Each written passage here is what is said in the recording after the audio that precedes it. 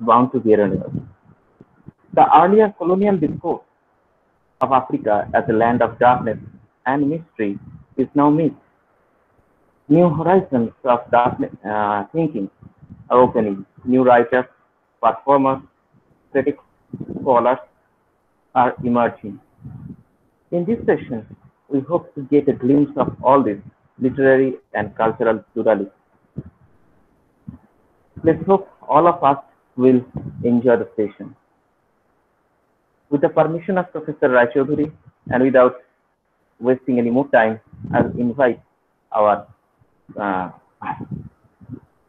presenter, that is Mr. P. Haritha, uh, to uh, present his views. Yes. uh, on transcending boundaries, politics of friendship in Zakariya Mohammed Sundani from Nigeria. So, Mr. Haritha, are you there? I don't think uh, Haritha is Haritha P is there. Please respond if you are there. No, I don't think uh, she is. He or he is. Uh, in that case, I think we should uh, invite our next presenter to present her paper. Exactly. That is uh, uh, Heena Sharma Heena Sharma. from the Department of English, CCS University, Meerut, UP. So, please, madam, uh, I invite you to present your paper. Please uh, switch on your microphone and present and video present.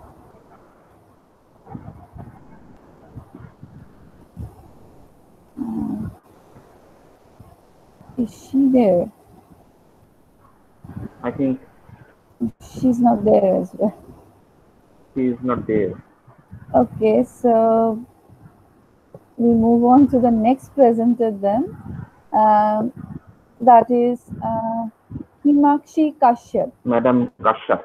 Yeah, she is uh, here. I can see her icon. So uh, I invite her to present her paper, uh, legitimizing female subversion in uh, Buchi Emecheta's The Joy of Joys of Motherhood, reading motherhood as a patriarchal institution.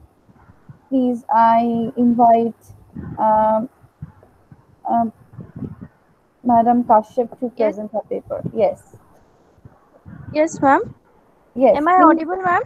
Yes, you are audible, Yes. but I think you Yes. also have to be visible uh, for the presentation. want to switch my video as I have network issues here so that I can carry on uh, easily. I think if Can you do not have any presentation, uh, I mean PPT or something, I think it would be all right. Yes, please. Yes, ma'am. I will be doing oral presentation. Okay. Can I proceed, ma'am? Yes, please proceed. And I think uh, let me just um, uh, announce this. Uh, all participants or presenters will be given eight minutes of time, and uh, we will open the session for question answers for uh, like one or two minutes after each presenter. Please proceed. Thank you. Okay. Uh, so, good afternoon, everyone present online. I am Himakshi Kashyap uh, from Assam. Uh, today, my paper is entitled Legitimizing Female Subversion in Buchi Emecheta's The Joys of Motherhood Reading Motherhood as a Patriarchal Institution. I have attempted to analyze how motherhood in this novel uh, is projected as a patriarchal institution through all its uh, um, all its uh, facets. Uh, so I start with my paper. African li- literature provides its readers a very interesting reading experience with all the socio-cultural political specialities of the native African people. It opens up a plethora of variant cultures, social structures, and human relationships pre-dominated with essence rural landscapes, locality, folklore, tradition, custom, and so on. Buchi Emecheta's works are very beautifully projected documents about the rich African culture, whereas they can even have fictionalized accounts of the real life experiences of the African people. mostly dominated by poverty, slavery, suffering, and struggle. The selected novel by is also such a text where not only the facts of the devastating African societies at the onslaught of colonialism is recorded, but also the bitter realities of marital relationships transforming human values are explored to its be- best. The seemingly ordinary experience of a woman, motherhood, is so very minutely expressed in this novel through portrayal of some common Igbo and Yoruba women uh, that we as readers are made to pause and think whether motherhood is really so important for a woman. Emecheta's protagonist, Nnu Ego, is a very ordinary woman whose sole aim of life was to become a mother. Not only her, but all the other fellow women too are shown to be busy bearing and giving, uh, giving birth to children. Even their conversations, activities, aspirations are all subjected to their children and their husband's interest. Marriage is regarded as essential for legally having children. Uh, but here, marriages are trivialized. The focus is uh, to give birth to a child, that too particularly a male, male child. For that, they have many ways, just like keeping mistresses, uh, inheriting inheriting the late brother's wife, enslaving, etc. All of these are required or legitimized as, as requirements for bringing as many children as possible so that the legacy of the male is sustained. So that he can live even after his death in the form of his sons. These are all nothing but patriarchal systematization of the society whereby female folks are tactfully exploited on different levels suppressing them unknowingly until their death Nnu Ego is caught in this patriarchal institution of motherhood. Her first marriage failed as she couldn't bear a child for her husband. She was labeled as quote unquote barren. This, however, didn't put off the flame of hope from her mind. She tried her luck entering a new marriage with a man who already had wives and children. Her desperate aspiration for children was approved by her chi, her personal god, and she became mother to a bunch of children throughout years. Her husband, the giver, who was capable of only giving her the children, not the whole, not uh, capable of taking the responsibilities of the children. He was bound to work hard to look after the children, from food to clothes to their education, thus uh, doubly exploited and subverted in the institutional space of motherhood. She is taught by her culture that her identity is dependent on her children, particularly the sons, apart from her father and her husband. In the process of ma- maintaining that ideal identity of a happy mother with so many children, she got lost. She aged early, frustrated, and finally died with no one by her side. Such an illusion this motherhood is. It teaches you to be caring, selfless, nurturing, and pleasing. It gives you nothing for yourself, but so much for others through you. It enslaves your body, divides it in, in between your husband and your children purposively.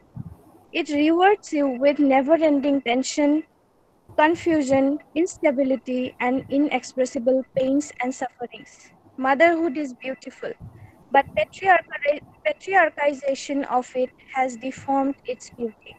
At least, this is what Nnu Ego's story revealed to us in this novel. Such a study will further help in exploring the institutional execution of motherhood different socio-cultural landscapes in the world. So with this, I end my paper. Thank you. Thank you, ma'am. Thank you. Uh, thank you, ma'am. Uh, so I invite um, all of you, if you have any questions to ask, please post the questions uh, for, for everybody's convenience.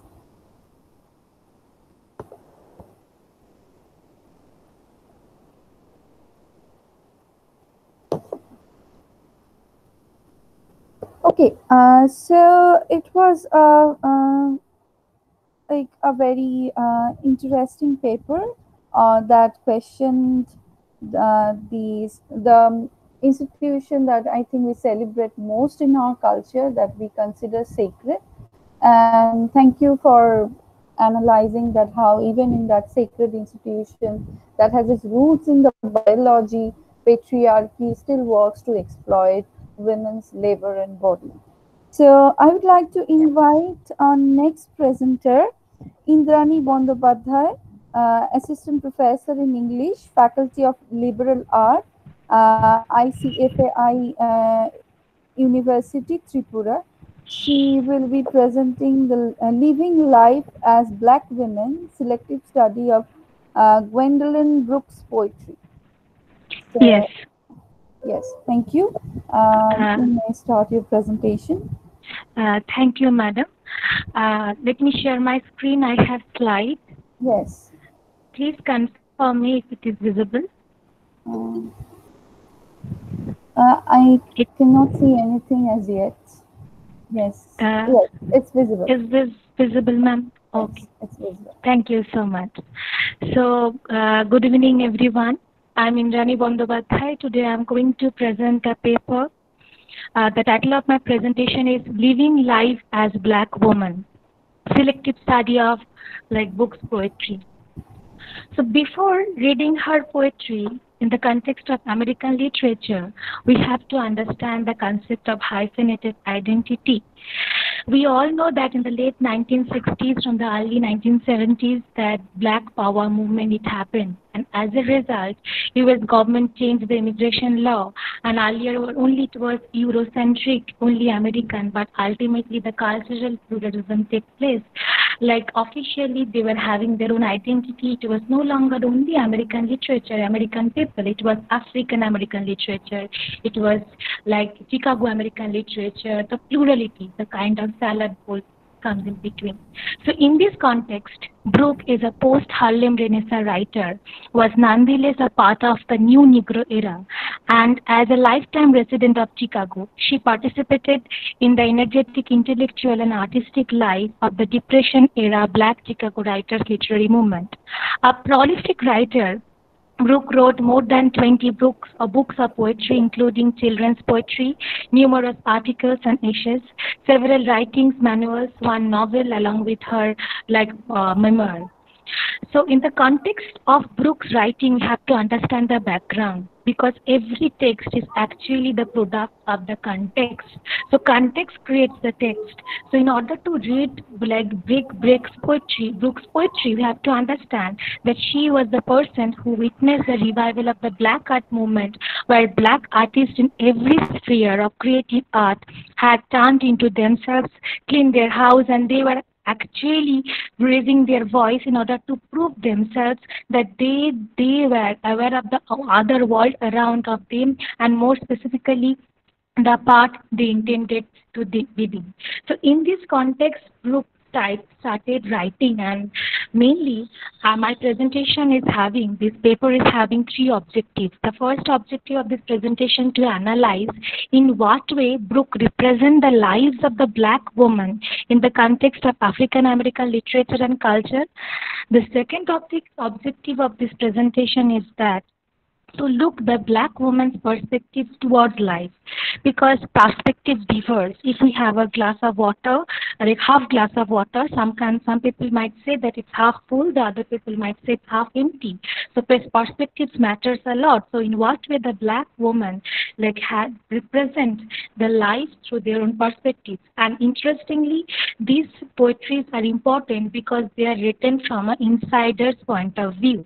So it's from within. So there is no distance between the subject and the writing. So being an insider, being that black woman, book wrote, that is why they are authentic. They are carrying the signature. They are carrying the autobiographical element. They are carrying the first person narrative form. They are having authentic representation, a truthful representation. So the third, like uh, the objective of this uh, like presentation is to find out the significance of this writing in the contemporary world because at the same point of time we have to acknowledge the fact that there are few issues the woman the problems of women they are same across places and spaces. That is why there is no single feminism but there are plural of plurality of feminism because they are different from places to places. But somewhere or the other these writings are in, insignificant because in the context of in the contemporary world also we can find out the women also suffered a lot. So the the, the papers my paper is based on like four selective poetries. The poetries are The Sunset of the City, Mother, Kitchenette Building from the collection of her first uh, book called Street to Bronzeville and then Jessie Mitchell's Mother. Because why I selected these four texts, I don't know whether I'll have time or not, let us discuss at least two texts in detail because the somewhere or the other these four texts shared something in common the subject of female the sub the perspectives of female okay? So the first poetry is the, the sunset of the city it can be one attempt of self discovery. We have to understand the two things from the title, the city and the sunset. City can be a place or space of opportunities for like climbing the ladder in the society. On the other hand, just in the opposite way, sunset is actually the ending of the day. So here, the poetry, if you read the poetry line by, like if you look at the poetry, you can find out the poetry starts with autobiographical tone, where the writer, being a woman, she is telling, already I am no longer looked at with lechery or love. My daughters and sons have put me away with marbles and dolls, are gone from the house. My husband and lovers are pleasant or somewhat polite, and night is night. So somewhere at the other, being a woman's perspective is there in the poetry because we know that from time immemorial, women were considered as a kind of machine of creation and recreation of populace. The first creation is to give birth. Here it is very clear in the sunset of the city that she is having son, she is having daughter. But what happened when she create themselves? But when it is her time, sunset time, the old age time, she cannot find out anyone beside her. So the second is recreation of populace, where she gave pleasure to the husband, pleasure to the beloved. But when it is a time for her in need, she cannot, she is alone. So the somewhere the other we can find out they are not double, they are multiply marginalized. So they are marginalized for, for their black. So somewhere the other they are marginalized because of their like womanhood because they are female. So they are used and they were left behind along with the marbles and dots. So these like this poetry is having like multiple symbols also where we can find out the symbols of the marbles, the symbols of the grass, the dolls. So that's why the poetry moves like we within the nature. And at the end of the day, we have to realize that this poetry is a poetry which can we can fit into the other world also, in the contemporary world also. In the Indian world, we can find out in the old place, the old homage, there are old house, there are many people.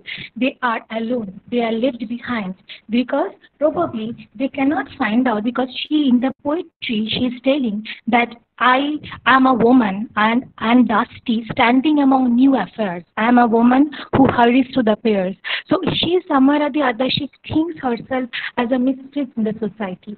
So that is why this sunset of the city is very interesting poetry, where being a like woman, Brooke talks about the femalehood.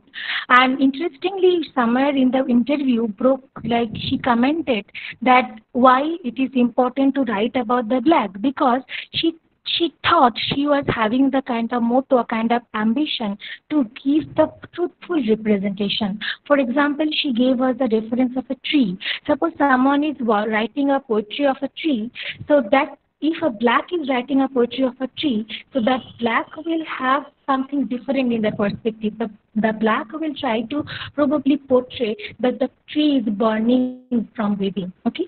So likewise in the other poetry, the mother, we can find out interesting because the entire poetry is one dramatic monologue on abortion. So be, the mother, yes, the last presenter actually presented about the womanhood. So here also we can find out Brooke talked about the motherhood in the poetry from a woman perspective, and the poetry dwells between three things: you, I, and you. So in the beginning of the poetry, the poetry by like begins by telling that abortions will not let you forget. You remember the children you got and you did not get. So here you, he's she's addressing to the entire female to the entire, like, uh, to the sisterhood, to, to the all woman. So next thing that we can find out a shift where she's telling, it's autobiographical, she's telling that I have heard in the voices of the wind, the voices of my dim children. So again, she's telling that I, if I stole your birth and your names, I. So being I, so a kind of shift. So somewhere the other, we can find out a kind of universal quality in the poetry, in the mother. So ultimately, the last you, it, it, it is, it can be directed to the the, the children, which she is telling that I could not but give birth to that children, who that is why they're you. And ultimately she claimed that believe me, I loved you all, believe me, I knew that you are all my. So a kind of tension between physical life, imagined life, so probably in a physics. So they are in a so what happened in the American life, the pen and paper they were all equal. But if we read the text like Amiri Baraka writings and other things, we can find out there is a difference between the theory and the practice. So probably they imagined the great American dream, but in the in the in their real life they undergo the physical pain. So and another kind of tension between the trauma and guilt also because the poetry, the context is actually the abortion, not only one abortion, multiple abortions. So Oh, uh, so what can be the reason of the aversion? It will take more time to discuss. But somewhere or the other, there is a trauma, guilt of the mother who, who feels regretting the life she rendered unlived. So likewise, the other poetry, kitchenette building, that's the third poetry of our discussion, is actually again like addressing to the feminine space. So we have a stereotypical thinking that, that the position of the woman is actually in the kitchenette. So here, actually, the poetry again we have it is like having a, the pronoun we. So ultimately, at the end of the day, she is telling about she is being a African American, being a like woman from the American background, black colored woman. She's addressing we. She's calling all the women at the same point of time. So likewise in the other poetry, this is Michelle's mother. It's interesting because it is having a kind of a disturbed relationship between mother and the daughter and how there is a kind of difference between them. So interestingly, in order to conclude, we can we can argue on the fact that these writings by Brooks are very important because they are true true because American literature is something which is based on the flesh and blood literature. They started writing their literature because they wanted to record their nation. So somewhere or the other, they are truthful representation. Somewhere or the other, these poetries are giving us one life lesson that black lives matter. If we know about the contemporary things, what is happening surrounding, we have to realize that every life matters in the world, but somewhere or the other, the woman, they suffered a lot. So we have to think of a world where it's very equality. So yes, there are many possible research areas based on Brooks poetry. They are yet to explore and yet we have to go on because reading, Brooks, she claimed that reading is important, but read between the lines. Do not swallow everything. So we have to read and realize the Brooks poetry in order to have the the perfect essence, okay, of the literature. Thank you so much.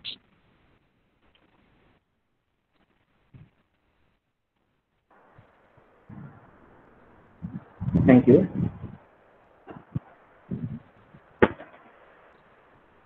Thank you, ma'am. Uh, thank you. Thank For- you um, Thank for you for your presenting paper. yes.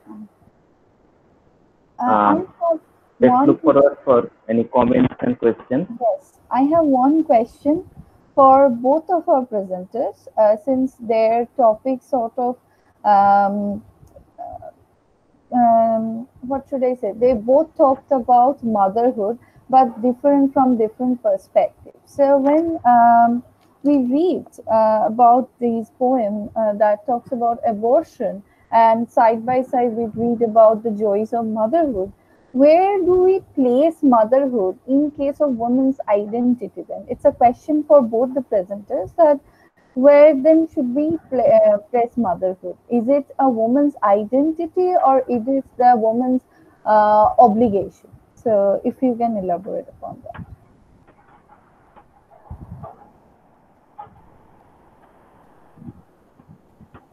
Should I an- answer or uh, the madam? Yes, uh, whoever. I think. Uh, Okay.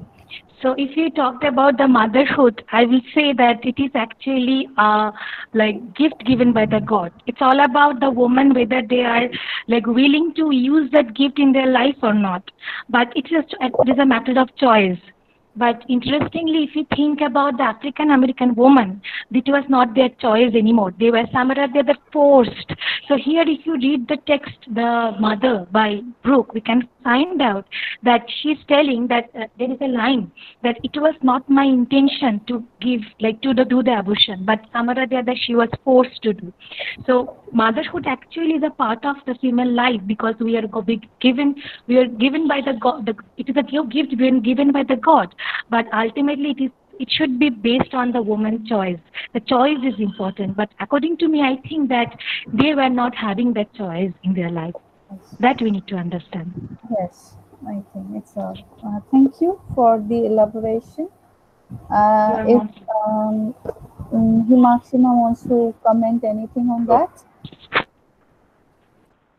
Uh, Yes, ma'am. So, any more comments or questions? Yes, yes. Okay. Can you hear me, Mm, sir? Yes, yes, you're audible. Yes. Yes. So, uh, from my perspective, uh, whatever Indrani ma'am has said, and th- that is uh, natural. Motherhood is natural. The God, uh, God, uh, it is a God-given thing to the women.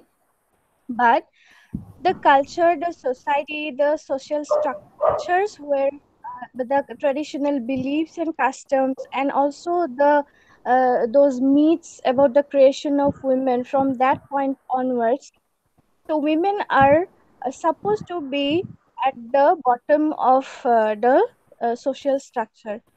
So to legitimize that status of women in the society, um, motherhood is somehow stereotyped uh, by patriarchy. That you are a, you you are must do it. You are must to bear a child for me. If you are not able to conceive, then you are barren. Then you are infertile. Then you will be looked uh, down by uh, the other members of the society. So from that perspective, I can say that it is uh, like an obligation for the women uh, to yeah that they they are not uh, the, the duty of motherhood is not uh, there as experienced by the mothers in especially in the novel that i chose Yes. yeah that is what i can say Yes, so the joys of the motherhood uh, predominantly lies in the choice of the motherhood, I think. yes ma'am Okay. that's always Thank you uh, to both of you. Uh, I would like to invite our next presenter, Erin Samuel, from final year uh, postgraduate student from the Department of English, Kristu Jayanti College, Bengaluru. Uh, he will be talking about Chinua Achebe's Things Fall Apart and No Longer at Peace, Deterioration of National Identity. Please, uh, Erin. Good afternoon, all. Yes. Yeah, good afternoon, all. Uh, today I'm going to present on the topic Chinua Achebe's Things Fall Apart and No Longer at Ease, Deterioration of National Identity. I would like to do screen sharing, ma'am. Yes, please do. Um, I can confirm or we can, we can see that. Yeah, can you see? Uh, not yet.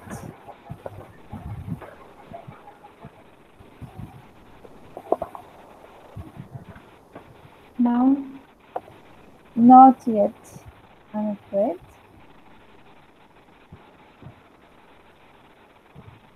one second.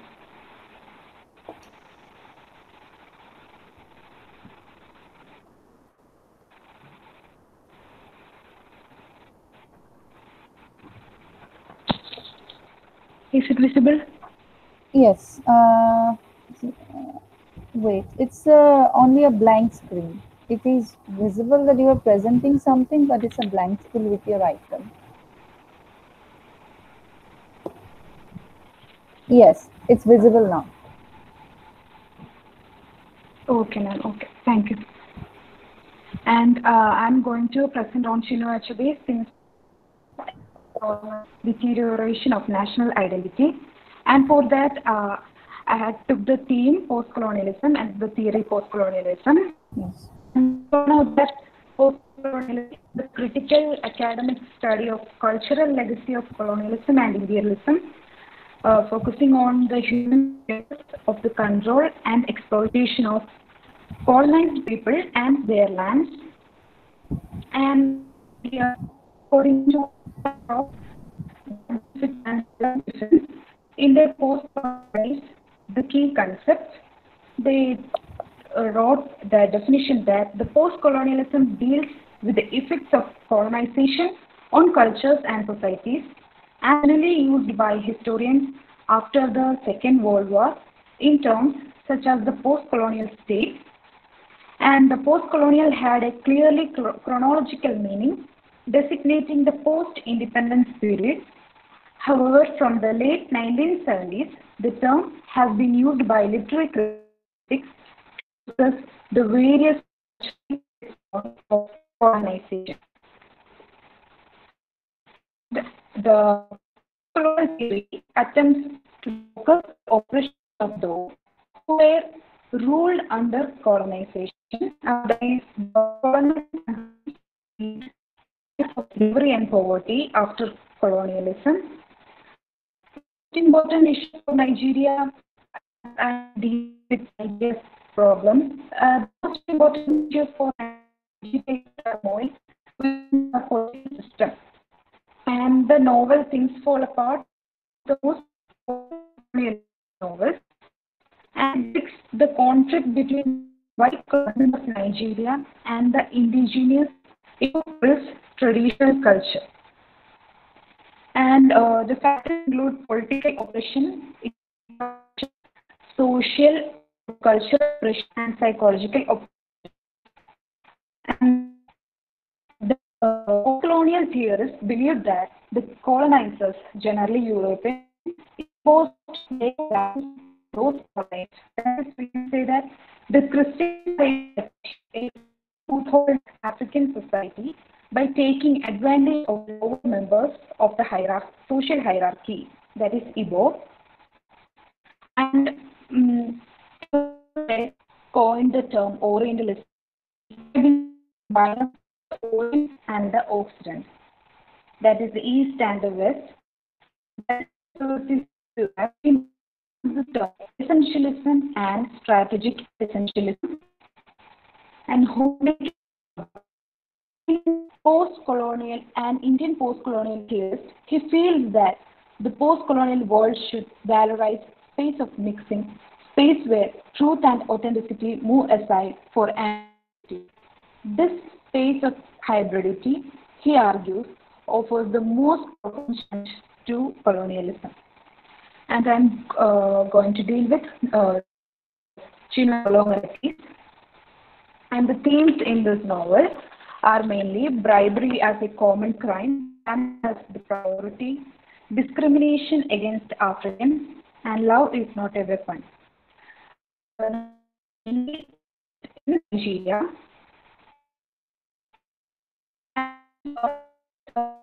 Nigeria,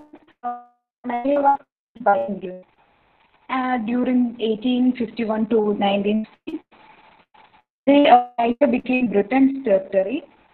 This caused Nigerians who wanted independence and uh, Nigerians for being there in 1960 and the uh, book no longer set in the independent Nigerian era. And uh, if we see No Longer Ease, it is a tragic story and uh, according to, uh, oh, it is the, the main protagonist is Obi Okonkwo, and he is a moral strong character. However, his fatal flaw is uh, his arrogant belief that he can change the entire culture and its norms. Obi Okonkwo, uh, who leaves his village for education in Britain, and then a job in the Nigerian Colonial Civil Service, but is conflicted between his African culture and Western lifestyle and ends up taking a bribe.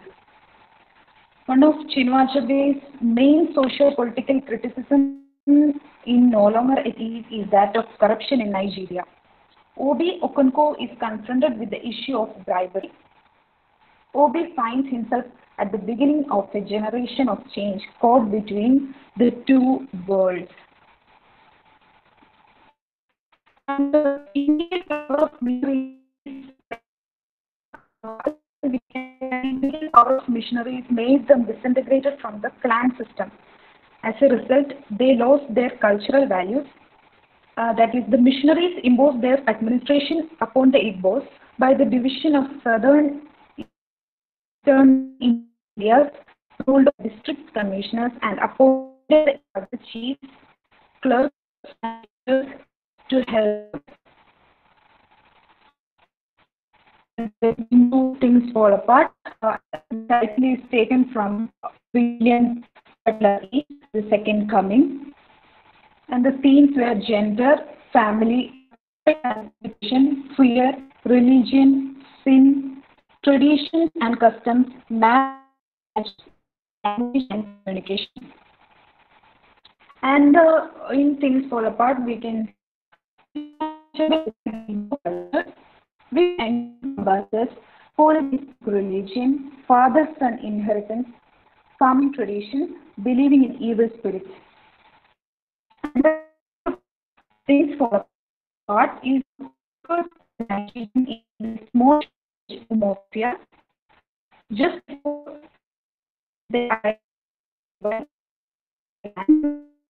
are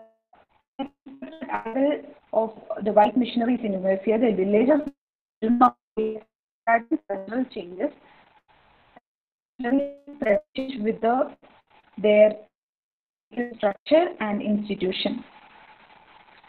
And uh, we can see the fall of national identity, that is Okonkwo's fall. Okonkwo's fall is uh, fall can be related to the Igbo tribe's fall.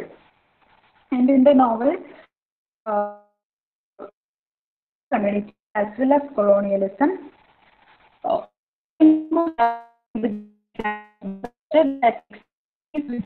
the East and the idea of the fate is that he is even given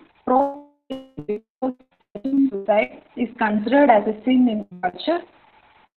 And in my opinion, it was not the missionaries, but the inner conflict of the Igbo culture that dug its grave. When the root of that is, uh, its feet are fragile, its And uh, is uh, can be named a hero in the classical sense or tragic flow, the equation of manliness with rashness, anger and violence bring about his own destruction.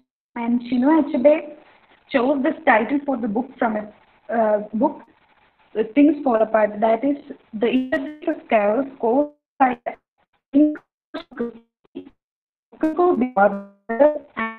then literally fallen apart.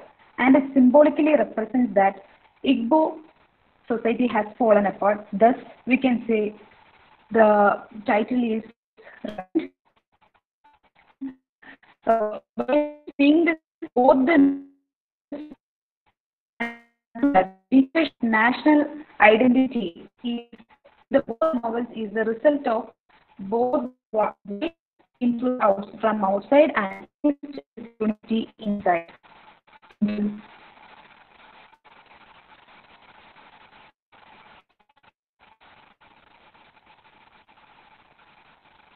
Thank you.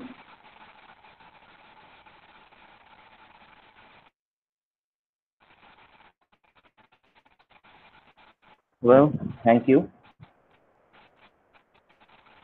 Now, you. Welcome. uh, I look forward for any comments and questions. So, any questions?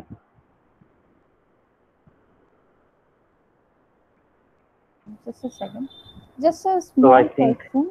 Yeah, Yes. just a Yes, yes. single question. So as we talk about this thing, um, things fall apart, and the sort of rootlessness that um, was felt by the African youth of the of that particular culture because of the um, colonialism. So uh, is that uh, also a case that they were constantly trying to go back to the pre-colonial time, and that is why the rootlessness came from? Isn't it a failed attempt as well? No, they are not trying to go back to their previous culture because they are already fed up with their culture and they want to uh, they want to abolish their uh, culture. That, that is the deterioration of their national identity actually. Uh, after colon- colonialism came, after the Christianity came, they are dividing into two parts. One of igbo culture and one of uh, christianity. And um, many are supporting christianity because uh, they because of their practices. They don't have any sacrifices like uh, the igbo igbos did earlier. Okay, uh, thank you. Uh, I think uh, I would like to invite our next presenter, that is Ishan Mukhopadhyay, who is a Ishan. PhD scholar in uh, IIT Kanpur. He will be presenting a paper called A Post-Colonial and Eco-Critical Reading of Zakes Mda's The Heart of the Redness. So, over to you, Ishan. Hello. Hi. Uh, am I Yes, audible? yes, you are Yes. Hello. Yes, Yes. you are audible. All right. Uh, thank you for um, calling me for presenting. I would like to share a screen. Yes. So please let me know when that is visible. Okay.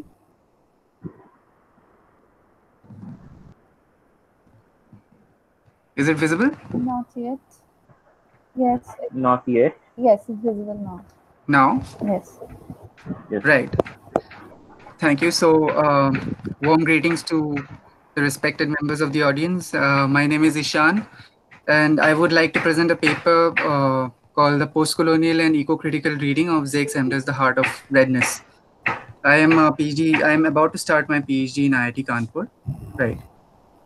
So, The Heart of Redness, uh, am I being perfectly audible, by the way? Yes, yes, absolutely. All right. Uh, the Heart of Redness by South African writer Zakes Mda is an important novel for post-colonial scholarship, among other reasons, because of the intertextual references it carries to Joseph Conrad's The Heart of Darkness. The response to Conrad by Chinua Achebe in an image of Africa, Racism in Conrad's Heart of Darkness, is one of the breakthrough moments for the discipline of post-colonial studies the novel depicts conflicts related to the themes of ecological conservation and economic development in the present day, but one finds that without a proper understanding of the village's colonial past, uh, indigenous traditions, and current challenges, it is impossible to reach a holistic solution. Mda is one in a long list of African writers and activists such as Chinua Achebe, Ngugi wa Thiong'o, Kensa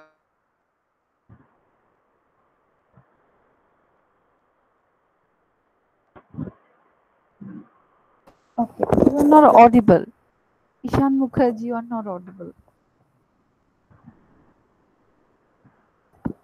Think it's just some sort of technical glitch.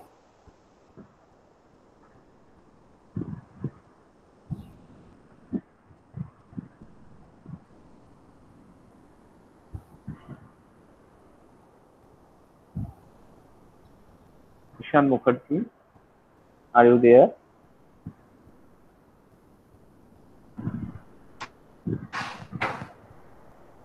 Hello. Hello, you are not audible. Hello. Hello.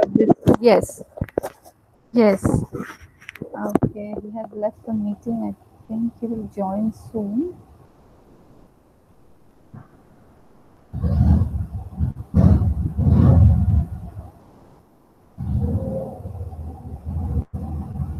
Okay, so I think he has left the meeting. yes, um, But I think he will join soon. Like, let's just wait for a minute, I guess. yes, some technical uh. Yes, I think it's something to do with. Yes, he is, he is there. Is there? Yes. Hello. Yes. Uh, Yes. am I back? Yes, you are back and Yeah, there was some disturbance with the network. I'm Yes. sorry. Yes, you are audible, uh, but Okay. the in no presentation is visible like this. So my presentation is not visible right now. No, no, no, no presentation. Okay, I will go back to the screen presentation. No, no. Yes, thank you.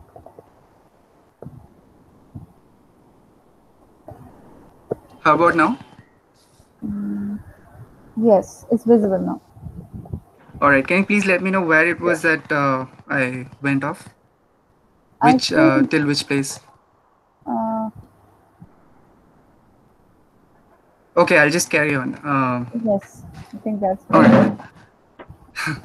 Uh, Mda is one in a long list of African writers and activists such as Chinua Achebe, Ngugi wa Thiong'o, Ken Saro-Wiwa, and Wangari Maathai, who has spoken about the ongoing process of neocolonialism in Africa and how land continues to be a potent site for social and environmental exploitation. So let me start with a brief summary of the story. The Heart of Redness depicts the struggles of a local community in a small village called Qolorha by Sea, an erstwhile British colony located in South Africa. They're embroiled in a debate about whether to support or resist the proposed development scheme of building a water park and a casino resort near the village.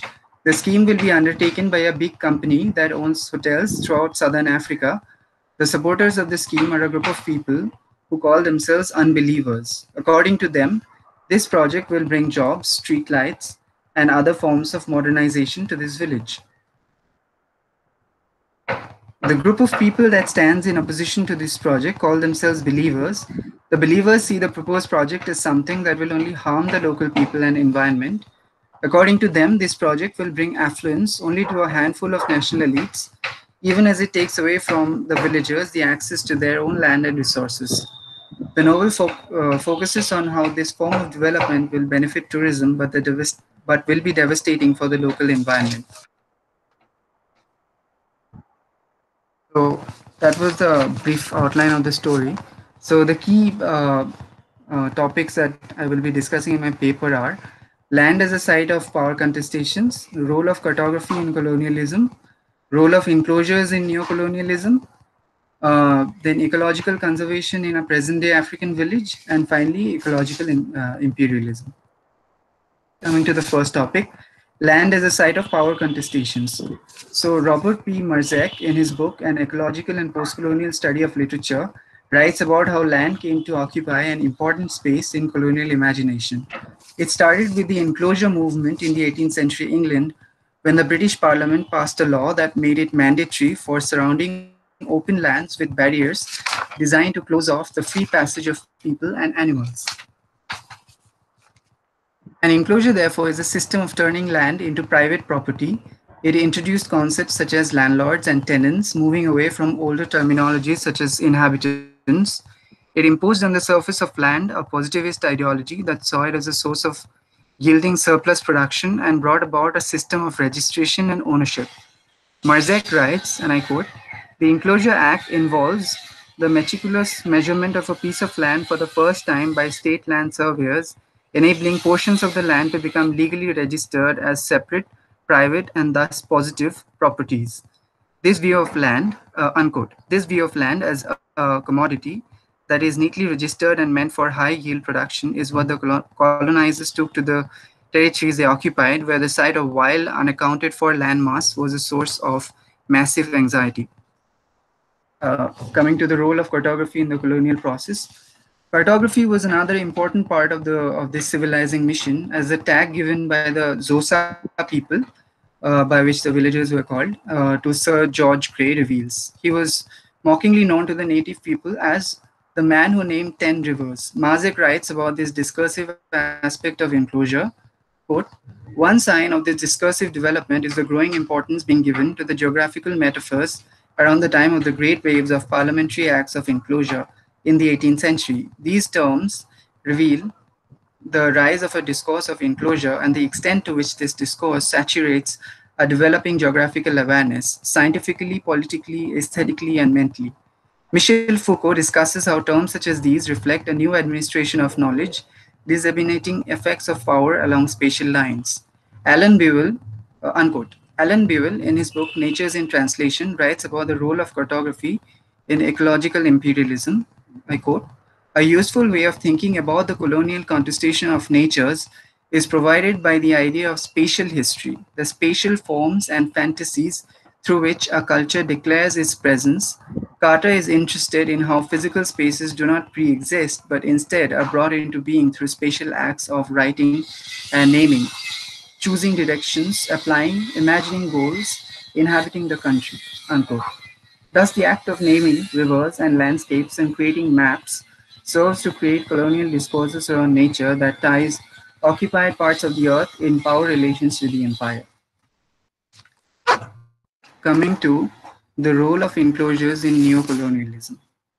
The upcoming 21st century commercial venture of developing a water park and a casino near the village is a form of neocolonialism that threatens to damage the local ecosystem and the local way of life. Not only does Bhonco and his circle of unbelievers think that the scheme will bring jobs and social infrastructure, but they also claim that it will help them progress from all that is primitive and wild. Uh, extends his interpretation of the role of enclosures on landscapes to such neocolonial initiatives when he writes, I quote, in the 21st century sphere of global world order, enclosures of a different kind continue, most notably the passage of transnational corporations into third world countries with the politico-economic organizations of the IMF and the World Bank setting the terms of development for these countries. With money as capital's general equivalent, its abstract axiomatic um, capital can be grafted upon any territory and upon any difference generated within a particular territory. In this sense, it can deterritorialize what was once intrinsic or peculiar to a territory, placing it within the universal flow of the global economy. He goes on to suggest that the logic of the high yield that stemmed from the enclosure philosophy is the same that is applied to the multi multinational corporates today in the name of economic development. Uh, um, so um, the author's response uh, to Conrad, um, Zakes response to Conrad, uh, Conrad in this in this novel is in Qolorha, the proposed project would have led to the benefit of influential elites and corporate bosses while leaving the poor villagers behind. Not only do a section of the villagers support the project, but they also think that this will help get rid of their redness and bring modernity in its stead. Here, redness is a reference to all the ancient practices and customs and beliefs associated with the local community, which includes thaumaturgy, deep respect for dead ancestors, and the integration of folklore, flora, and fauna as a part of everyday culture. This redness is also an allusion to Conrad's darkness, where he referred to Africa as a continent of darkness, frenzy, and backwardness. In contrast, Mda's uh, redness is a site of tradition as well as modernity, a quality that roots them in ancient customs as well as offers them the strength of identity in the face of modernization. However, uh, the impact of colonialism lies not only in the economy, not only in economy and ecology, but also in the minds of the colonized people, which is what makes the unbelievers led by Bhonco despise their redness. And this is what Frantz Fanon refers to as the psychological impact of colonialism. Okay, coming to the ecological conservation in the present day African village. The imagination of place in the heart of redness, uh, heart of redness, yes, carries elements of the local as well as the global. Nature conservation in the village of Qolorha by sea has to take into consideration how colonialism has permanently altered the ecological landscape. So, a modern day conservation project needs a rooted imagination, a sense of sustainability, as well as an active intervention. Notions of purity are distorted not only with respect to identity and culture, but also with respect to nature. This is best exemplified by the actions of Qukezwa, who, um, who is a character, a woman character in the novel, who is put to trial by village elders for allegedly vandalizing the neighborhood flora. The village elders saw her act as a careless attack on nature. However, she was motivated to reduce the damage to local fauna by the foreign ones. I quote, part of her objection to the planned holiday paradise is that the natural beauty of Qolorha by sea will be destroyed. But here she is, standing before the graybeards of the village, being charged with the serious crime of vandalizing trees, unquote. For most people, including Camagu, all trees are part of a singular nature that must be protected. However, Qukezwa defends herself in the trial by explaining that the wilderness has already been compromised by history and therefore modern conservation projects require human intervention. In the present day, the local flora includes various kinds of non-native plants that had been imported by the European colonists. Plants such as the lantana and inkberry present a threat to the native species. Many of these plants had been imported by the whites, but their progress had not been properly anticipated. Finally, coming to ecological imperialism, in Natures in Translation, uh, Bewell writes, in his, I quote, in his groundbreaking work on the historical ecology of colonialism, Alfred W. Crosby has coined the term Columbian exchange to refer to the enormous globalized transference of biota that took place at the time. European settlers, he argues, did not travel alone, but brought with them their domestic animals, crops, weeds, pests, parasites, and diseases. Crosby's innovation lies in the argument that the success of the Europeans in settling the globe is not to be explained solely in terms of their technological domination over others, but also in terms of the biological success of the natures that they brought with them. The ground of expansion was laid not only by guns, warships, and information networks, but also, he suggests, by European germs, domesticated animals, and weeds. The sun may have set on the British Empire of a global, uh, sorry, on the British dream of a global empire, but it still never sets on the empire of the dandelion. Long after the decline of the British Empire, those who remain must still live with the new environments that were created by the expansionary diffusion of European natures across the globe. Unquote. The mobile natures carried across by the Europeans permanently contest with the local ecology, and it is this contestation that Qukezwa seeks to address as she demolishes invasive flora so that the local environment survives. Bewell continues, I quote, the goal is not simply to see natures in local terms as essentialized entities destroyed by the coming of the Europeans, but to understand how the local was being transformed by broader global forces to grasp the changes that took place in the very nature of places when the plants and animals that had originally composed them were replaced by others. Unquote. In conclusion, the above arguments demonstrate that representations of place are always unstable, both because of a lack of homogeneity and because of the constant change over time, Therefore, notions of place and identity need to be seen as artificial constructions that are open to debate in order for effective protection of the local. Also, the imagination of land fueled by the enclosure movement that has come to be normalized in modern discourses of neocolonial projects needs to be re-examined. If one is to free the earth from unending tussles of power and wealth, one needs to be able to reimagine land in terms of its natural boundaries and not in terms of productivity and ownership alone. The discussions in this essay help in dismantling how traditions of thinking stemming from land enclosure uh, fueled colonial and neo-colonial endeavors in the South African village of Qolorha by Sea. Finally, these discussions also untangle how colonialism and neo-imperialism operate as much through displacement and exploitation of indigenous environments as through humans.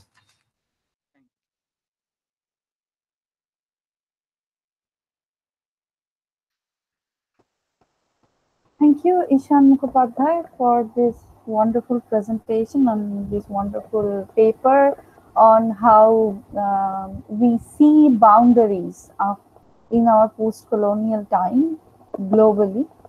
Uh, and I have this, um, not really a question, a comment uh, that is in direct derangement. Amitav said that um, it is the dream of a good life, the dream of a life with refrigerated TV and other um, electronic gadgets that was um, uh, sort of weaved in the mind of uh, the vast population of Asia that sort of um, worked as a catalyst uh, to this uh, deterioration of nature. So as you speak about this um, um the tussle between the believers and the non-believers, particularly uh, the non-believers um, um, a to um, willingness uh, for this project. If this reminds me of that, and I have one um, like not question, I would uh, like to know how would you connect this, uh, this colonial uh, impact on nature, particularly in places that were, uh, particularly the continent that were colonized and also globally with this age of Anthropocene. We are in the age of Anthropocene and I think it has direct connection with the colonialism. So if you can elaborate that. Um, thank you for the question um, and the comment. Um, I think like when it comes to Anthropocene, typically Anthropocene talks about an era where uh, nature is sort of reimagined, right? It is an era where uh, humans have impacted and have intervened in nature to the extent that it, it's no longer the way that, let's say, the Holocene, uh, you know, uh, had certain identification um, markers. So when it comes to the when it comes to nature and the specific role that that plays in the context of colonialism i would go to you know what Alan Bewell uh, talks about in his natures of translation uh, sorry natures in translation uh, where he talks about how ecological imperialism plays a role in the colonization process in itself.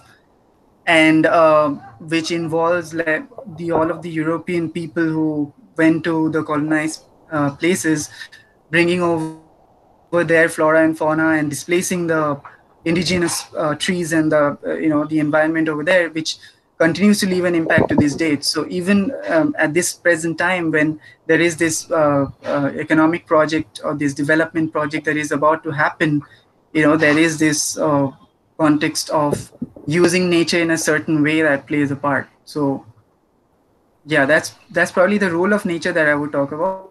And Anthropocene, I think, engages with the uh, neo-colonization effort is as much as I can probably comment. Yes.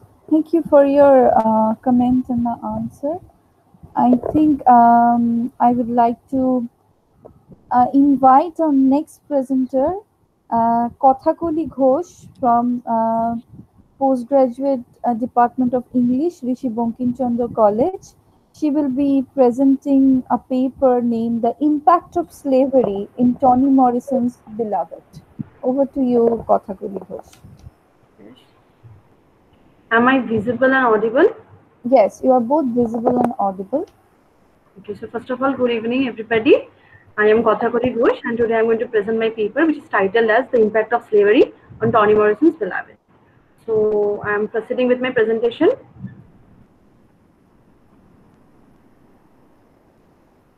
Is my presentation visible? Not yet. And now? Uh, not yet.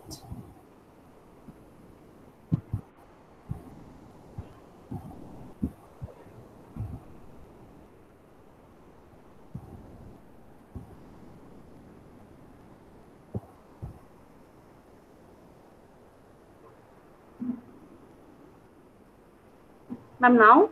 Yes, it's visible now. Okay, thank you. So, uh, this is the title of my paper, The Impact of Slavery in Toni Morrison's Beloved. So before I move into directly to my paper, I would like to give you a brief on the author. So the author of the novel is Toni Morrison, whose original name is Chloe Anthony Wofford Morrison. She was born in February 18, 1931 in Lorain, Ohio, she was an American writer who was noted for her examination of Black experience within the Black community. She even received the Nobel Prize for Literature in 1993, and her novels are known for their epic themes, brilliant languages. languages. So, uh, this is the slide which consists of the works, famous works of her. So I'm going to talk about Beloved today. So now, let's get a brief about the novel. The novel is based on the true story of a runaway slave named Margaret Garner, who kills her daughter to prevent her from being subjected to the painful life of slavery.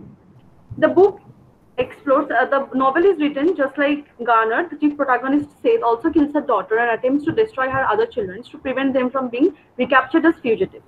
The book explores the lives of Sethe and her daughters after their escape from slavery and uh, this the book also the book also explores the family relationships and also helps us to visualize the stress and the dismantlement of african american families under the brutal capture of slavery.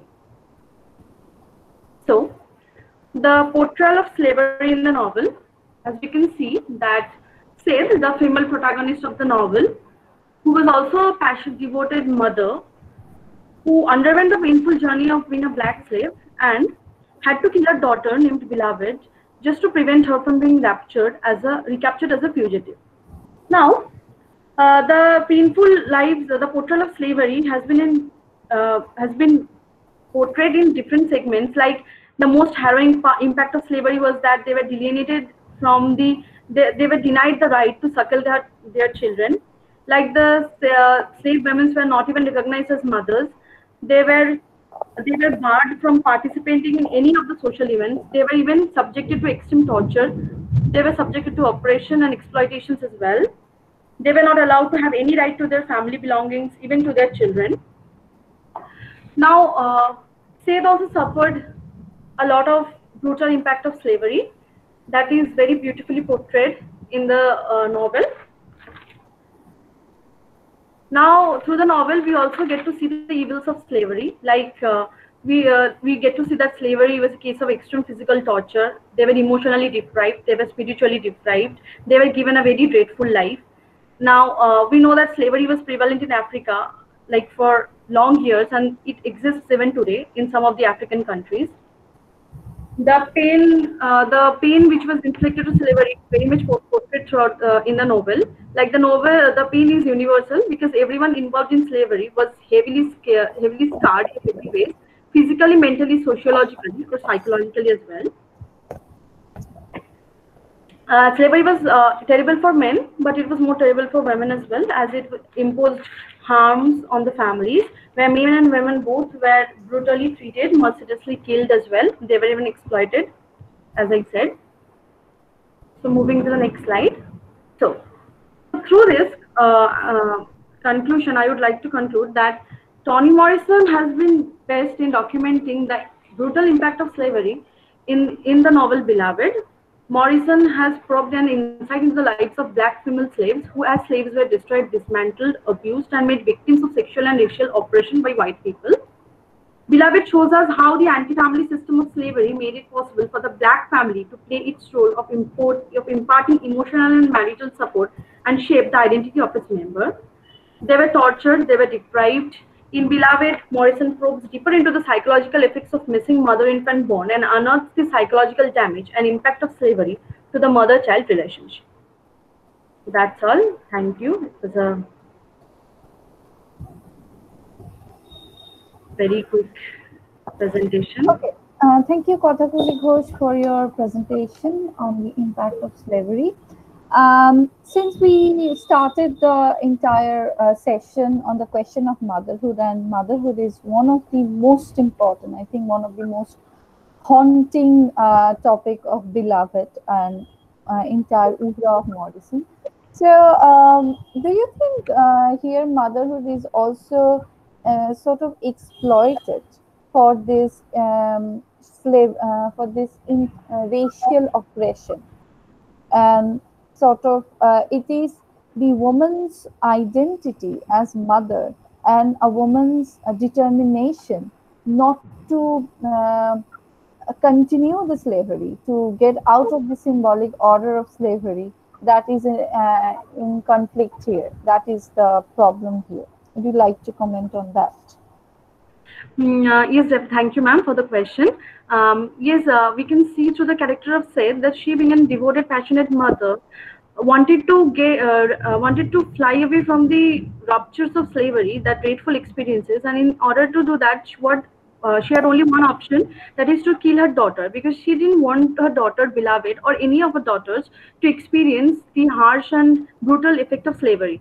But she didn't have any other option but other than to kill her and she could only succeed killing beloved. So uh, in this way we can see that through this um, uh, through slavery uh, Sethe has been uh, like she has been deprived from her motherly instinct. She has been deprived from her motherhood. She couldn't care her, her child to grow up but she had to kill her because she wanted to protect her from the uh, brutal impact of slavery. She didn't want her child to go through the pain which she went through. Okay, thank you, Kothakoli, uh, for your answer. Um, any other questions from anyone or comment? Uh, I think not. Okay, so I invite our next presenter, um, Kehin Samuel. Are you there? Mr. Samuel? Uh, I'm afraid not. Uh, no, I do not think Mr. Samuel is here. Uh, so we move on to our next presenter, that is Krishnendu BS. Are you there, Krishnendu? Okay.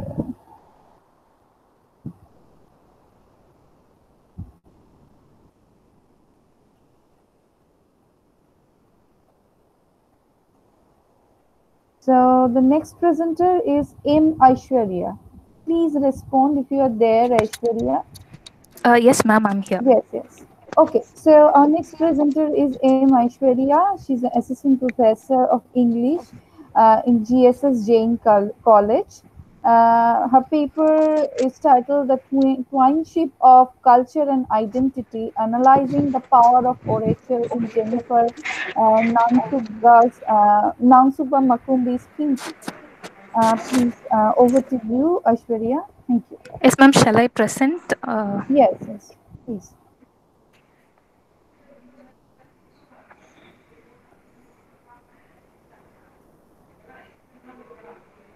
ma'am, is my screen visible? Yes, um, it is visible. Okay. So a very good evening to everyone present here in the platform. So uh, the title of my paper is The Twinship of Culture and Identity, Analyzing the Power of Orature in Jennifer Nansubuga Makumbi's Kintu.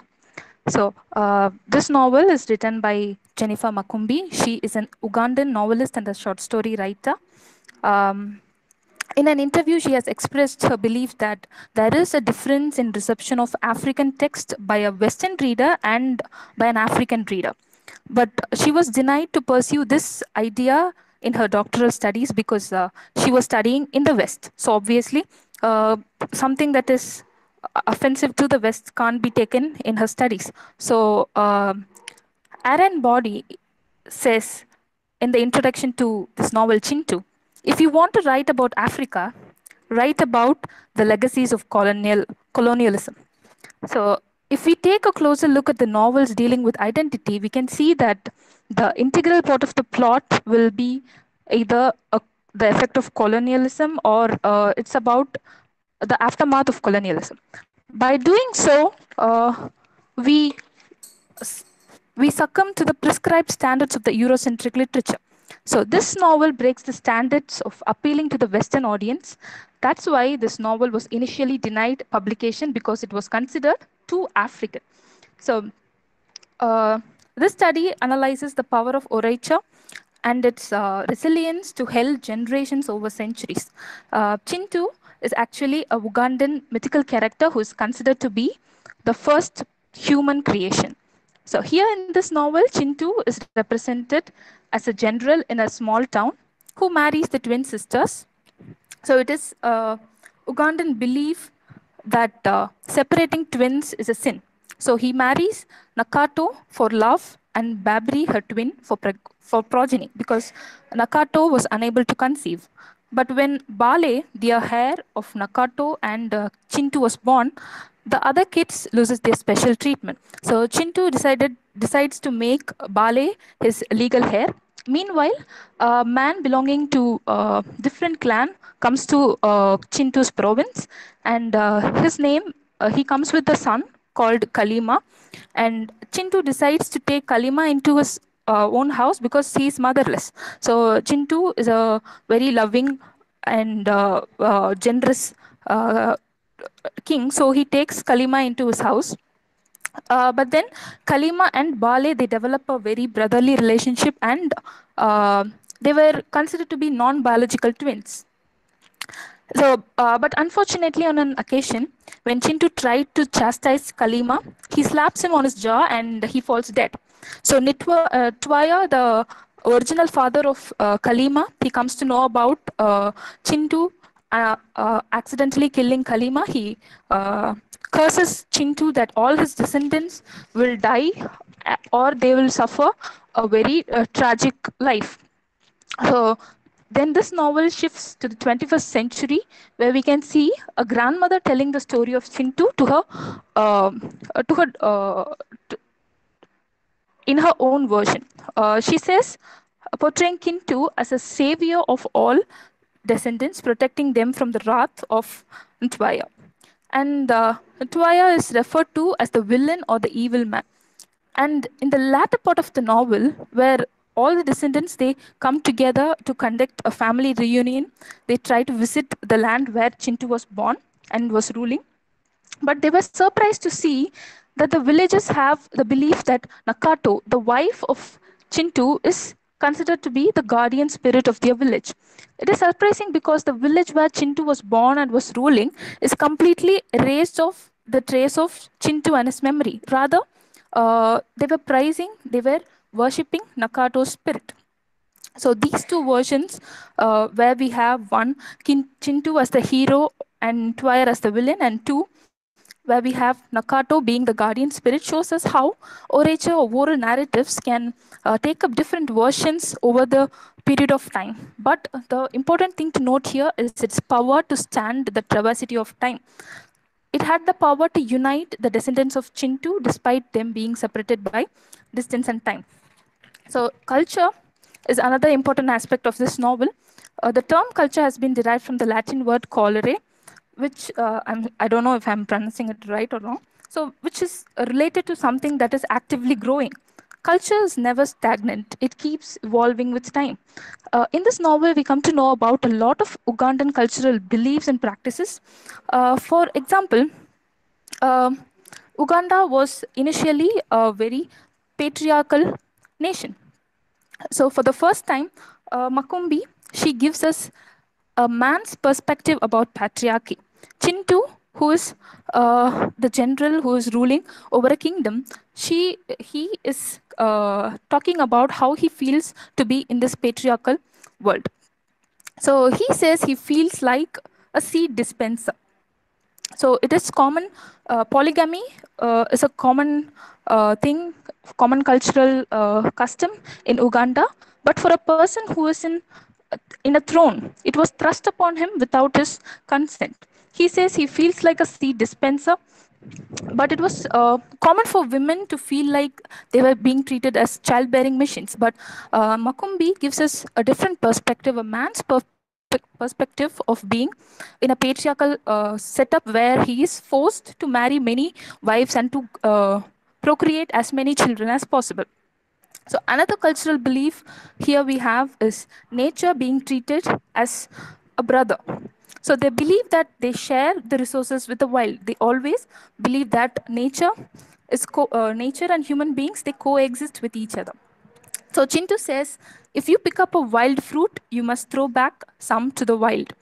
So this is the belief that they had, sharing things with nature, with the wild. So when we travel back, uh, when we travel uh, in the, to the later part of the novel, where it uh, is, is the 21st century, we could see the same sentiment still prevailing among the villages. They say when we harvest, we leave behind half. So this shows the same cultural belief that was there in the 16th century. It still prevails in the 21st century of coexisting with nature. And uh, another uh, interesting, uh, there are many interesting cultural beliefs about Uganda and their customs. We can see that the marriage rituals, we can see marriage rituals like dowry day or the ceremony where married men come together to educate the young groom about manhood and the life after marriage. So about death, they believe that uh, if the if a person is not buried properly, their spirits will not leave the world. And also, a person who commits suicide is uh, who uh, who commits suicide doesn't deserve a burial. So culture and identity always coexist. So uh, this novel is filled with dualities, like the recurrence of the birth of twins in the descendants of Kintu. From the beginning uh, till the end, uh, there are many recurring births of twins in the des- descendants of Kintu. and also the dual identity of the characters, the duality between past and the present, the Ugandan and the Christian. So it is the whole novel is filled with dualities, or uh, the twinship of culture and identity is visible all over the novel. And it is also important to note that all the characters in this novel has a Ugandan name and also a Christian name. So this novel itself is a hybrid of uh, Ugandan uh, myth of creation of Kintu, Kintu who is uh, the first man of uh, God's creation, and about and a mingling of the Christian myth of the curse of Ham. So uh, Makumbi has combined these two uh, myths to form this novel, and it's an Ugandan belief that separating the twins is a sin. If a twin dies, the other will also die. So uh, separating sin, uh, sep- separating the twins is considered to be a sin, and uh, the twins were considered to be a single person or a single soul. So this novel deals with the four different descendants of Kintu and how the curse befalls them. So first we have Suubi, uh, who is a girl in her mid twenties who uh, ha- who's also had a twin, but she uh, loses her twin in the early childhood. But she keeps hearing the twin's voice and she keeps denying uh, the twin's existence. She is in a deep rejection of her identity uh, even though she is well ab- uh, even though she is well aware about her roots she refuses to expose her identity uh, rather than rather she creates uh, imaginative stories like she say she'll say that her parents are from london and uh, she says they are very rich and uh, she, they are providing her with uh, things but she refuses to accept the reality that she had no parents and later when she grew up she tries to change her name after Mr. Kiyaga, uh, in whose house she works as a maid. So this shows she also calls him daddy, and uh, this shows how uh, disoriented her identity is. She's frequently visited by the image of uh, her twin, who's asking her to tell tell the truth about her identity to everyone. She threatens her in her dreams to tell about tell the truth about her identity. She uh, uh, Suubi, she even sometimes talks and behaves like a twin, and this shows her rejection about her identity has created a split personality in her. Uh, when the uh, descendants they try to co- conduct a reunion in order to uh, get rid of this um, curse that has befallen uh, the entire descendant of Kintu.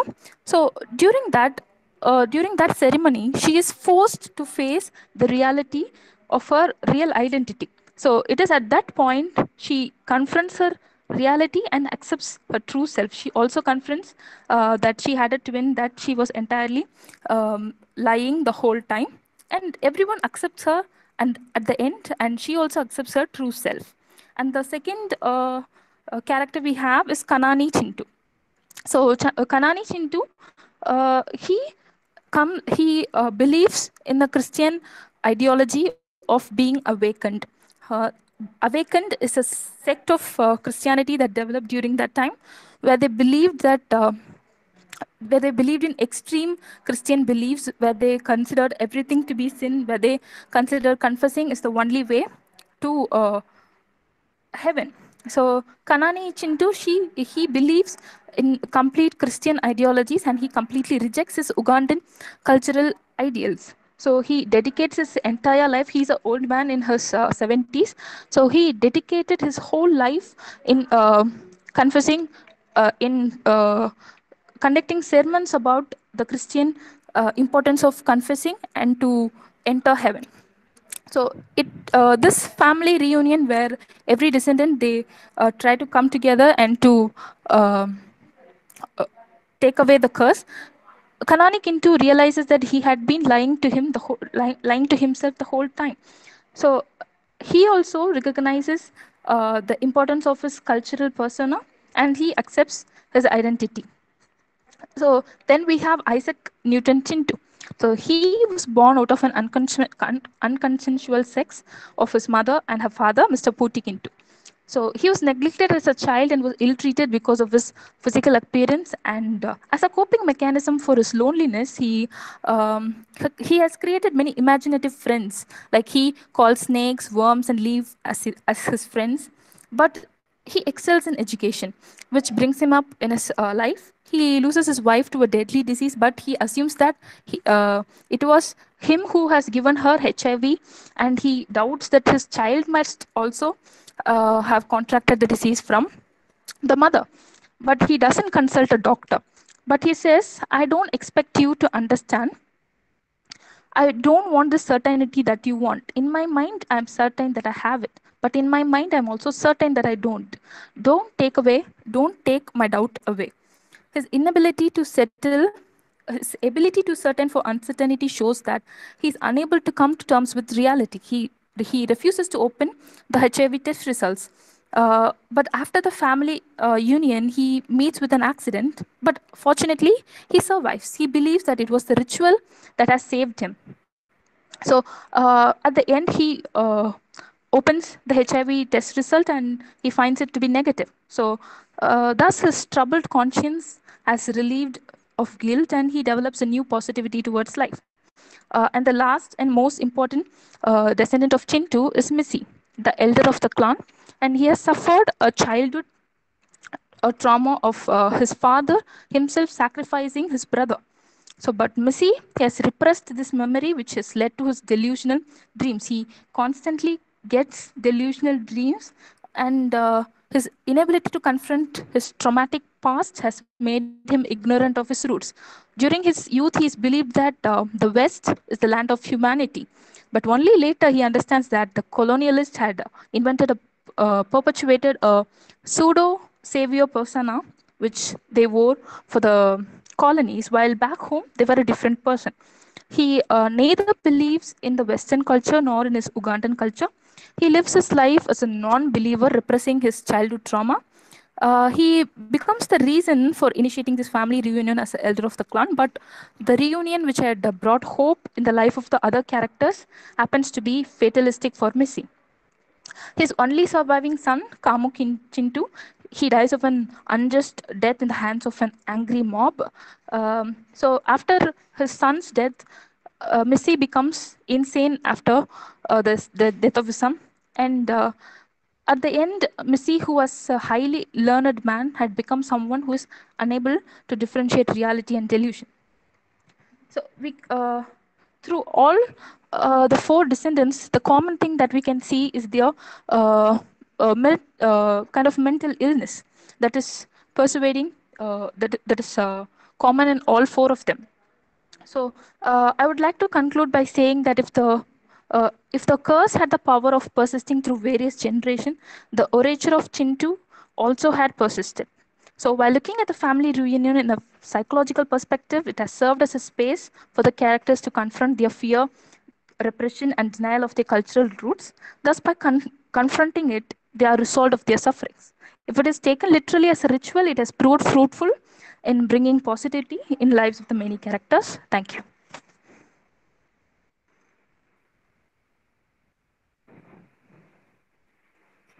Thank you.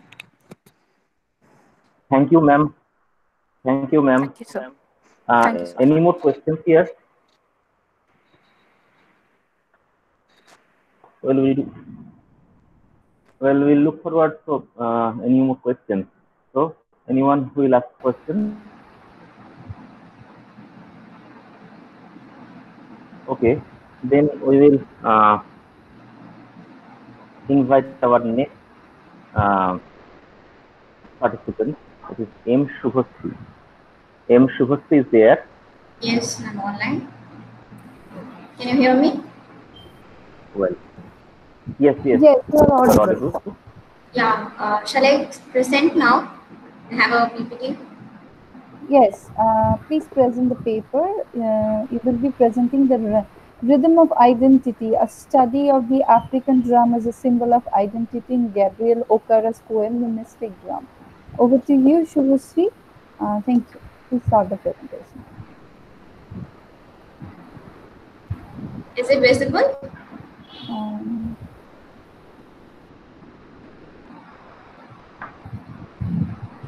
Is no. Not visible.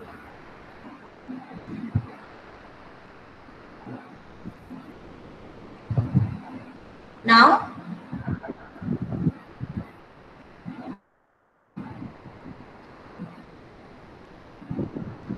Now, is it visible now? Yes, it is visible Hello? now. Yes, yes, it is visible. Yeah. Oh. Yes, yes, yes.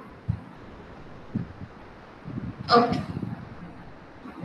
So um, thank you for giving the opportunity. Uh, so my paper is titled "The Rhythm of Identity: A Study of the African Drum as a Symbol of Identity" in Gabriel Okara's poem "The Mystic Drum."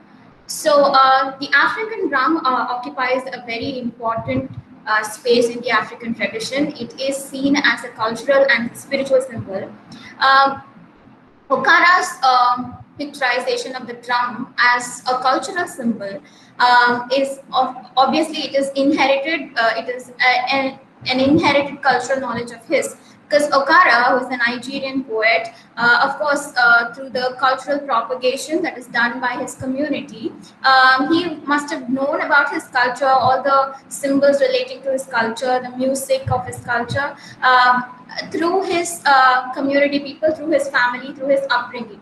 Whereas uh, the individual perception of the drum of Okara is quite different from uh, what the general, uh, what the uh, community has, uh, I mean, what the uh, symbol of drum means to the community, which takes us to, um, um, you know, we have to consider O.B. Maduakor's uh, differentiation of myth versus mysticism. So, um, O.B. Says that uh, myth refers to the sum total of organized cultural beliefs and norms that sustain a writer's imagination. When those beliefs and values are made to become personal, personal symbols, we move into the area of mysticism. So, uh, what Okara's cultural knowledge, uh, I mean, Okara's cultural knowledge is based on the myths that has been passed or that he inherited from uh, his uh, members in the family or in the community. Whereas his individual perception is the way he understood, understands it, and how he tries to use the drum as a um, as a vehicle to his mystic insight. That is for his own uh, creation of his mystic world. Now, moving on to uh, the making and the instrumentation of the drum. So, the drum, the African drum, um, I mean, there are many different types of African drums. Um, most all of these drums are made purely from nature. So, um, in fact, uh, the making of the drum itself involves a lot of processes, starting from uh, cutting of the African hardwood to procuring animal skins for making the membranes of the drum. Uh, there are so many rituals that uh, are done in each of the each and every of these processes. Uh, so they would, uh, of course, do a sacrificial ritual because they believe that all the trees, um, animals, and the entire earth um, is a living spirit. It's not, um, uh, you know, unlike the Western concept where uh, you know, uh, animals and uh, other elements of nature apart from humans are considered as, uh, you know, um, unintelligent uh, beings. Whereas African um, visualization of the world is um, in terms of spiritualism, that they see that the spirit, I mean, every element of nature has a certain spirit and we, and so the cutting of the trees or procuring the animal skin of course would uh, you know they would invoke the spirit of the trees or the animals and uh, then they pay worship uh, and they thank the spirits so that uh, they could get the material for the drum making.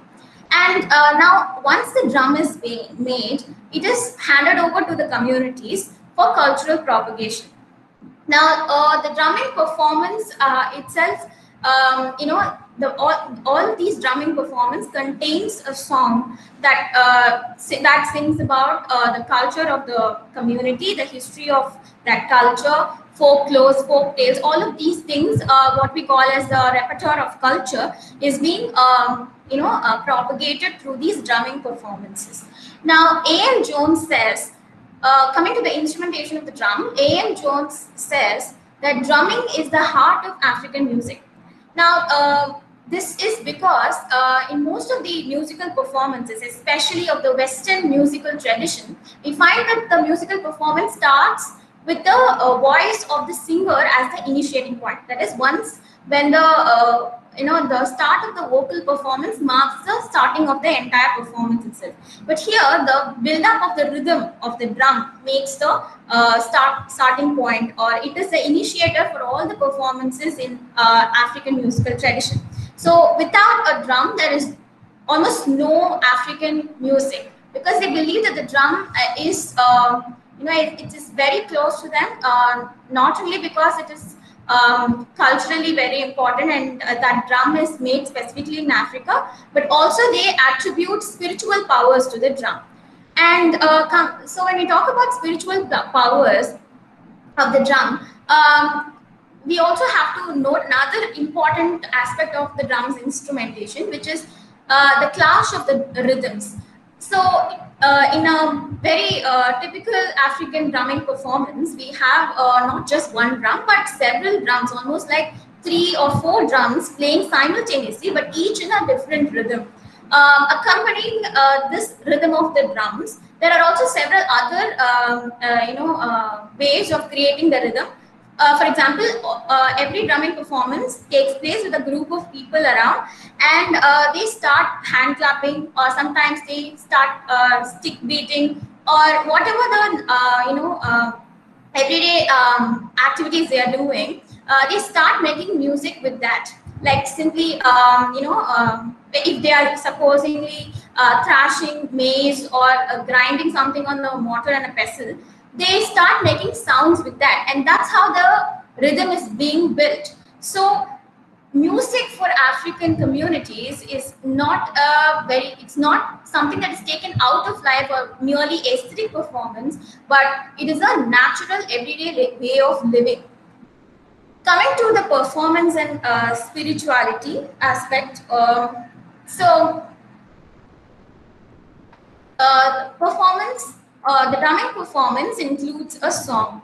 Um, every song narrates uh, a folklore, just like I already mentioned. It's it's uh, is essentially uh, telling of folklores or uh, maybe history of the community itself, or even uh, the drum also plays a very important role in the in partaking uh, in the life incidents of the uh, people in the community. For example, if someone in the community um, you know, there is a, a, birth ceremony or there is a funeral uh, that's taking place or someone's marriage is taking place in the community, the drumming performance is a mandatory one.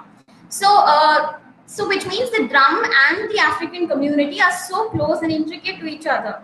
Um, and another thing to note uh, here is that um, the drumming performance actually um, you know, as I said already, the uh, there is a song that is accompanying the drumming performance. Uh, here, there is not there is no much of importance to the vocal proficiency of the singer. Nobody is going to uh, judge the singer of how well they sing because the song is uh, specifically constructed for the message that it delivers. The message is, of course, the propagation of culture, that is folk tales, folklores, all of these. So, motive profundity uh, occupies the forefront compared to the vocal proficiency of the singer. Now, um, the uh, spiritual aspect, uh, I mean, sorry, the performance involves all the members of the community. Now, anybody can participate in that storytelling performance. So, which means it's a very interactive community building process. Um, nobody is left out. Anybody is, uh, there is no clear cut differentiation between the performers and the audience because it is performed in the community. So, as much as the community comes together to uh, create the performance, it is also the performance that binds binds them as a single community. Because it tells the tales it's it like uh, it is a center of cultural propagation. So the people start identifying themselves more and more with the um, you know the the uh, roots that they come from. So the sense of belongingness is built in such a performance. Now um, Nzewi um, categorizes the drumming performance into three, uh, you know, in, into uh, three divisions. So first, uh, the song that uh, you know that uh, tells the folk tales or folklores. It, he calls it as a vocal processing of the language, And drumming is seen as an instrumental processing of the language. Dance is seen as a choreographical, uh, choreographical processing of the language. So these three elements are very uh, important and they are significant to every drumming performance. And all of these three are necessary for the meaning making process that has to happen through the drum. Um, so uh, this creates the drum dialogue, which means that the, uh, they all uh, Afri for African communities, the drum is not just a musical instrument, but they call it as a talking drum, which means the drum talks. They connect to it very spiritually, and uh, because it is only with the help of the drum that they are able to, uh, you know, uh, teach or impart their cultural richness to the next generations, which means it's a very crucial part of community building. And um, that happens through these three uh, pro uh, processing of language that is the song drumming and dance where the drumming is the starting point for all of these other uh, processing of language. So and another thing is uh, drum this drum culture itself is a knowledge that they have got from uh, the culture that is propagated through a performance um, that was you know done by the previous generations so the present culture, for example, the present uh, African culture would have known about the drum by uh, through their uh, you know previous generations. So the drum can drum is both the product as well as the initiator of the uh, culture that is propagated through the performance. Now, um, and that is why Gabriel Okara uh, sees that the drum um, actually uh, the drum is that's why Gabriel Okara uh, gives so much importance to the drum because he thinks that the drum is his source of inspiration. It is the point, or it is the symbol of his own creation because he, the drum helps him to reminisce about his um, native roots, and he is more, uh, you know, uh, uh, he is able to get into the mystic side which is inside himself through the help of the drum, um, the image of the drum. Now, uh, performance and identity construction. So this go uh, hand in hand. Um, Simon Frith says that um, identity is a mobile process. It's it's a mobile thing. It's not a process. It's a process, not a thing. Uh, it's a becoming, not a being. So um, identity is something that uh, is always in process. Um, same way, uh, the drumming itself is always a process um, you know, it, uh, like I already mentioned, the cultural propagation uh, happens within the drumming performance and it keeps uh, telling and reminding the people where they come from. Uh, or sometimes if new members are coming into the community, they enlighten them about the culture that they are, the, that they are, um, you know, visualizing through the drumming performance. So um, they, this helps them, this helps the community people to get to you know, remind themselves of the roles that they have to perform. Uh, for example, if they belong to a Yoruba community, the, the drumming performance would often would um, you know propagate tales of the community so that they understand their roots and they understand where they come from so they perform their roles as the members of the community because identity itself is a performance it keep, uh, we are conditioned to certain uh, criteria and we try to understand them and try to perform the roles uh, that these conditions, uh, you know, give to us. So drumming performance can uh, itself be seen as a metaphor of identity identification. Now, um, okay, so um, the uh, question now the question is um, the sense of belongingness, community build, uh, community building, all of this can, could uh, you know very easily be uh, transmitted to the next generation or the other community people through normal uh, human orages. Now, what, what is the need for you know a, a drumming performance uh, to come in, and why should cultural propagation take place in such a atmosphere, such a atmosphere where uh, you know a metalingual atmosphere? Um, the reason is the performers who are involved in the uh, in, in, the drumming, uh, some of the performers are uh, they get into a trance. Like I already mentioned, there is a clash of rhythms that these drums create because there are so many other so many drums. the simultaneous buildup of the drum, uh, you know, uh, causes one of one or two of the performers, or sometimes even the onlookers, to get into a trance. And so, uh, as they get into a trance, they become or they are considered as uh, the superhuman voices of the spirits of their ancestors. So, which means that whatever the, the words that they utter, uh, the, the words of the uh, inspirited performer uh, is uh, becomes a holy mandate. That is, nobody can challenge that challenge them, or no, there is no dialogue. It's, it becomes a dialectic. So um, this is the point where the laws of the community are made because these performers they become uh, the voices of the spirits and who are revered in the African communities. So uh, the the uh, entire drumming performance itself becomes a um, you know lawmaking or a um, you know agenda setting uh, performance. So that is why that is more close to the African culture. Um, so and that is the need why uh, a performance like um, you know uh, a drumming performance has to uh, is is um, adopted for cultural propagation than just uh, you know uh, tell tales in the normal human voice. So again, this becomes a process of identity construction. Now, uh, coming back to the poem uh, of Okara, uh, the the female uh, Okara keeps mentioning the female figure uh, in the poem.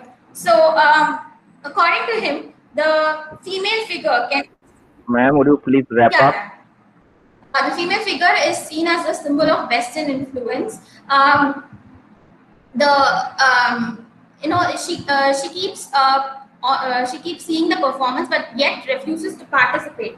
Now, um, Okara's poetry always uh, consists of this um, you know dilemma where he's uh, finding it unable to balance the traditional and the modern, which is uh, the same thing that uh, many of the presenters also mentioned. Um, so the woman uh, can also be seen as a uh, the symbol of or an agent of cultural appropriation, where the drum is now taken as in the globalized world, the drum is now taken as uh, um, you know uh, uh taken to be uh, is adapted to um, in in um, some, several um, multinational corporations. Like in Govinda's article, um, he says the drum is used as a means for facilitating interactive team building within organizations so as to enhance group dynamics and build team spirit. So the drumming performance. Ma'am, would you please wrap up? Just, just two seconds. Um, so in a globalized world, it becomes very uh, hard for the people to understand the other uh, other communities of the world to understand the true essence and morals of the African culture. So that is Okara's fear and dejection um, and yeah, that is represented in the poem. Thank you. Okay, thank you, uh, Thank you. Yes, um, thank you for such a sonorous paper on the significance of drum in African culture in context of Gabriel Okara's poem. I do not think we have time for taking question or comments now. So I am skipping this. If any of you have any question, please hold on to it. We can take it at the end. Uh, so I quickly mm, invite uh, uh, Madhakari Nayaka, Assistant Professor, Department of Studies in English, uh, Davangere University, Karnataka, uh, um, to present the paper Representation of Reality in Terry Olufemi's short story, Stick Fighting Days. Yes, yes, madam. Shall I? Shall I? Yes, please. May I audible to you? Yes, you are audible. So, so Yes, shall I yes. pre- present my paper, madam? Yes, ma'am. Uh, please, sir. I don't have any slide shows. Just directly I will going to read out. Okay, so it will be Okay, an ma'am. audio presentation only. Okay, okay, thank you. Yeah. So myself, uh, Madhakara Nayak assistant professor from Karnataka. So my paper is representation of reality in uh, Terry Olufemi's short story, Stick Fighting Days. Uh, so here, so one of the uh, studies of aesthetics has been the contradictions of the colonialist definition of African aesthetics. A particular area of discourse has been negative analysis of African art, such as uh, the claim that the category of realism does not African art. One of the thinker, William uh, Abraham, argues that when critics like uh, Gombrich says that the African artists were incapable of uh, realistic representation. They quite uh, miss the point of African art. If they seek lifelike representation, they should turn to secular art, the art which was uh, produced for decorative purpose or uh, the purpose of record rather than the moral art. The heart whose inspiration is intuition of world force. So like that, uh, uh, world uh, African art. Keep on make uh, here a uh, hypo, hypothesize about general characters of African heart. Abraham observes the Ashanti wooden maidens, which uh, optimize, uh, epitomize the Ashanti ideal of female beauty, were responsible lifelike, thus signifying that the African art is both realistic and figurative, depending on its specific social justifications. In Terry Olufemi's short story, Stick Fighting Days, which is the, the first Sierra Leonean to win the Caine Prize for African writing. A story set on a garbage dump follows two boys and their survival in poverty upon the rubbish heap. Here he recognizes African real trends. Those are identified and discussed. His willingness is to explore issues and field of experiences previously marginalized or considered taboo, especially in the realm of African diaspora. His objections speak to widespread global call for the decolonization of in, uh, institutionalized cultures. One element of this Africanization debate involves assessing the value of contemporary literature written by Africans who lives in diasporas. So then who is Wolfemi? Wolfemi was born in Sierra Leone of African and Antillean parentage. He grew up in Nigeria, UK, and Ivory Coast before attending New York University. So where he, uh, where he earned a bachelor uh, uh, in creative writing. Subsequently, Wolfemi lived in Kenya and worked as a journalist and analyst in Somalia and Uganda. He lives in Cape Town, where he his writing is first novel. His writing as uh, engaged uh, appears or appeared in the uh, Chimurenga Chronicle magazine.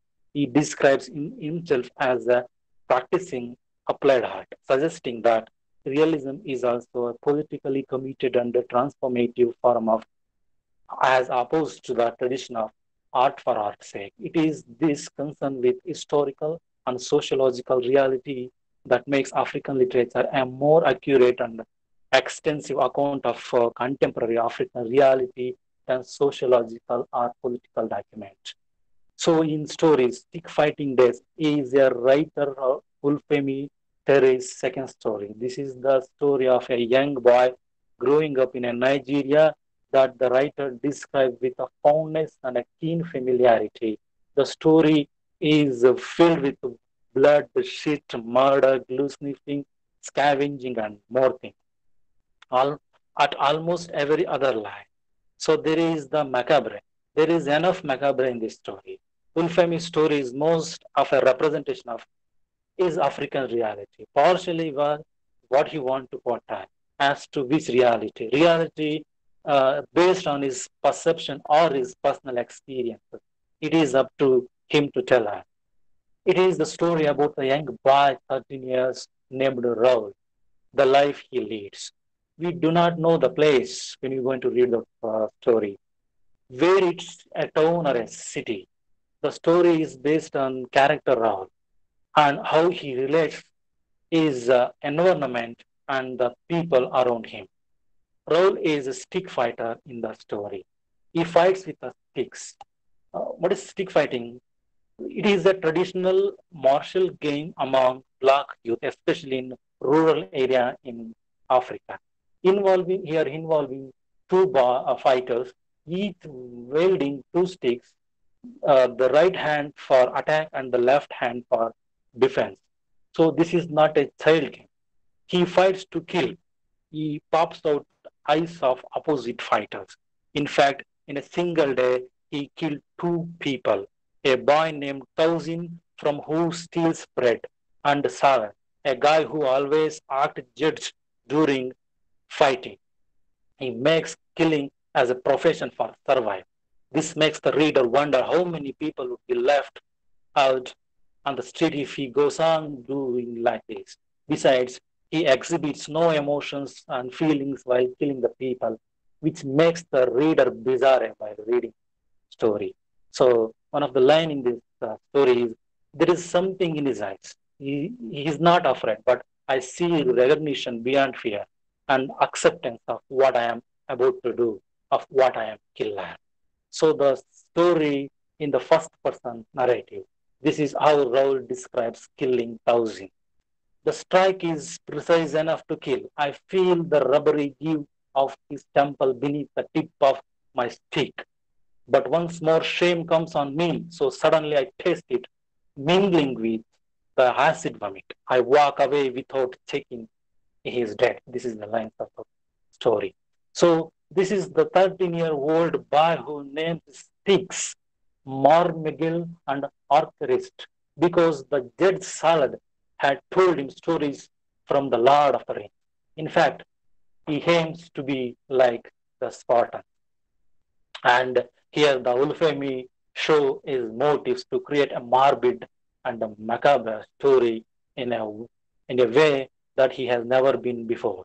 For how does an illiterate boy who does nothing but to fight, kill, scavenge, and sniff got to know how the Spartans were and wanted to be like them? It's almost like a collection of morbidity heaped on the role character. So here, uh, in this story, there is a close relationship between events and the story is questions about citizenship, cultural identity, national literature, African reality.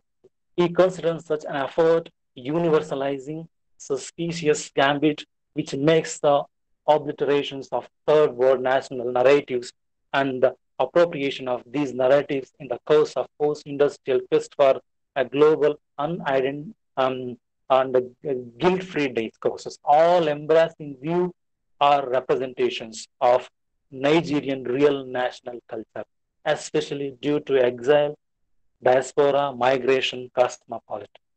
African writers like him, taking their cue from real life, use the beauty to help communicate important truth and information to the society. The main theme in African literature, like uh, Ulfemi, colonialism, subjugation, nationalism, cultural contact, and conflict and alienation, and also disillusionment, and most recently, gender, homosexuality, poverty, porn, and modernism. So African literature is concerned Achebe regarded as the inventor of African literature. Their self-apprehension might not be as complicated as that of self-exiled Ben Okri of in Arcadia, an example of a new age phase in his writing.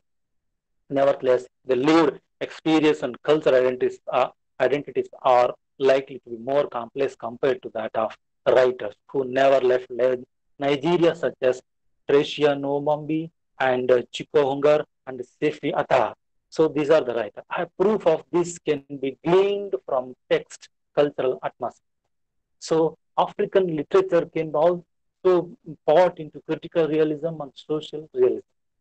The first, which is evident in the work of Chinua Achebe, Wole Soyinka, and of other and of other African contemporary writers like uh, Uzodinma Iweala and uh, NoViolet Bulawayo and uh, Tendai Huchu. These are all contemporary writers. These writers are principally characterized by an uh, accurate description of condition of modern Africa, but without preferring a clear solution to the problem identified.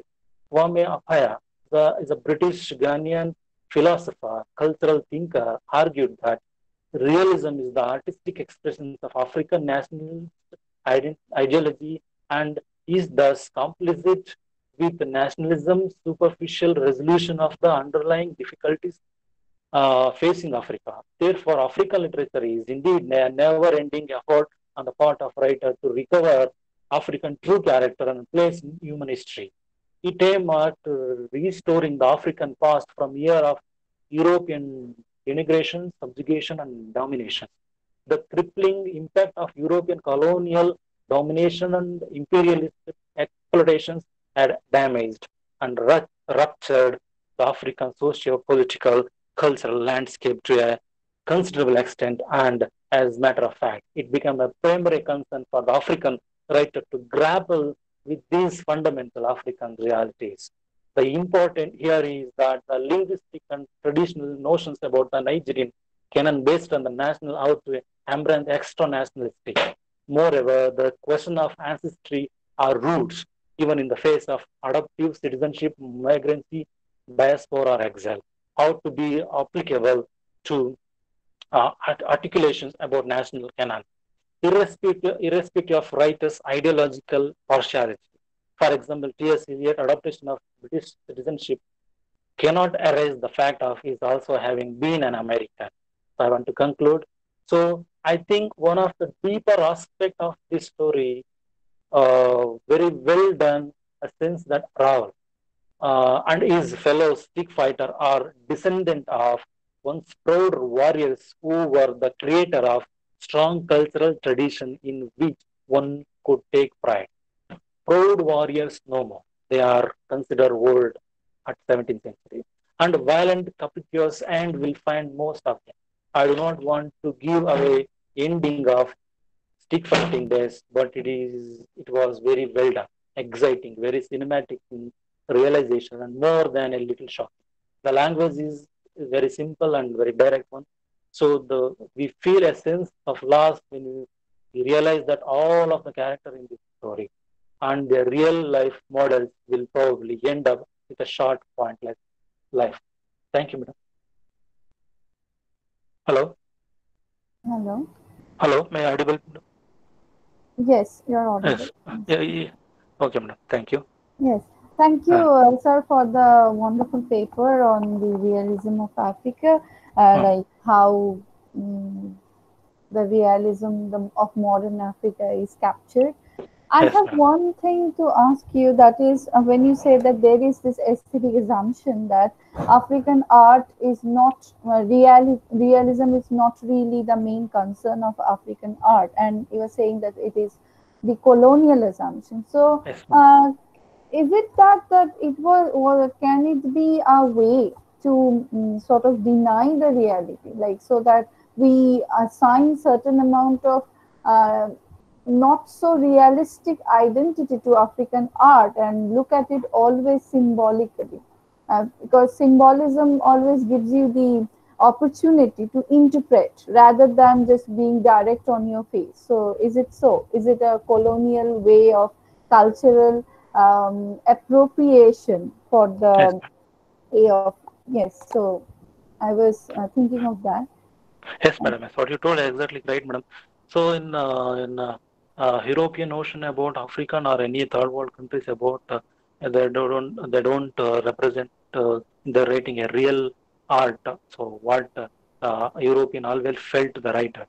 So but when we observe going when we going to observe the Ngugi wa Thiong'o or uh, Chinua and contemporary writers like uh, Olufemi, they want to represent the real Africa, the real, uh, Africa in their writing. So in the beginning, uh, in once in his uh, in his meeting, he told that uh, I don't want to be a, a representative of art for art's sake. I want to represent a real Africa. What was uh, uh, uh, in his writing, we may observe. yes thank you. Uh, any other questions or comments from anyone? Okay. I uh, think we should uh, move on to our next presentation. Uh, i invite uh, professor uh, Mad- madhalana shaila prasad forgive me if i have spelled your name pronounced your name a bit wrong. Is an assistant professor in the department of english badruka college of commerce and art um, Hyderabad, Telangana. Uh, he will be presenting the paper African Literary Themes in Ralph Ellison's Invisible Man. Over to you, sir. Please. Thank you.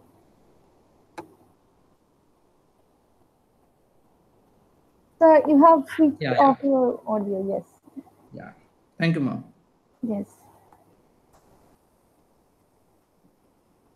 Yeah, African literary themes in Ralph Ellison's Invisible Man. Myself, I am Madanala Shaila Prasad, Assistant Professor in English Department, Bhadruka College of Commerce and Arts. And uh, when we talk about Africans, right, Africans, there is a key role played by Ralph Ellison in his writing Invisible Man. And here uh, in my uh, in my talk, what I am going to focus on that the major themes, what actually the Africans, actually earlier speaker who has presented in uh, that one, he covered everything. So let me go ahead all major writers focused african uh, whatever the writers either they're from the diaspora perspective or from the outside or inner side everybody they have focused on some of the common common areas or themes they have.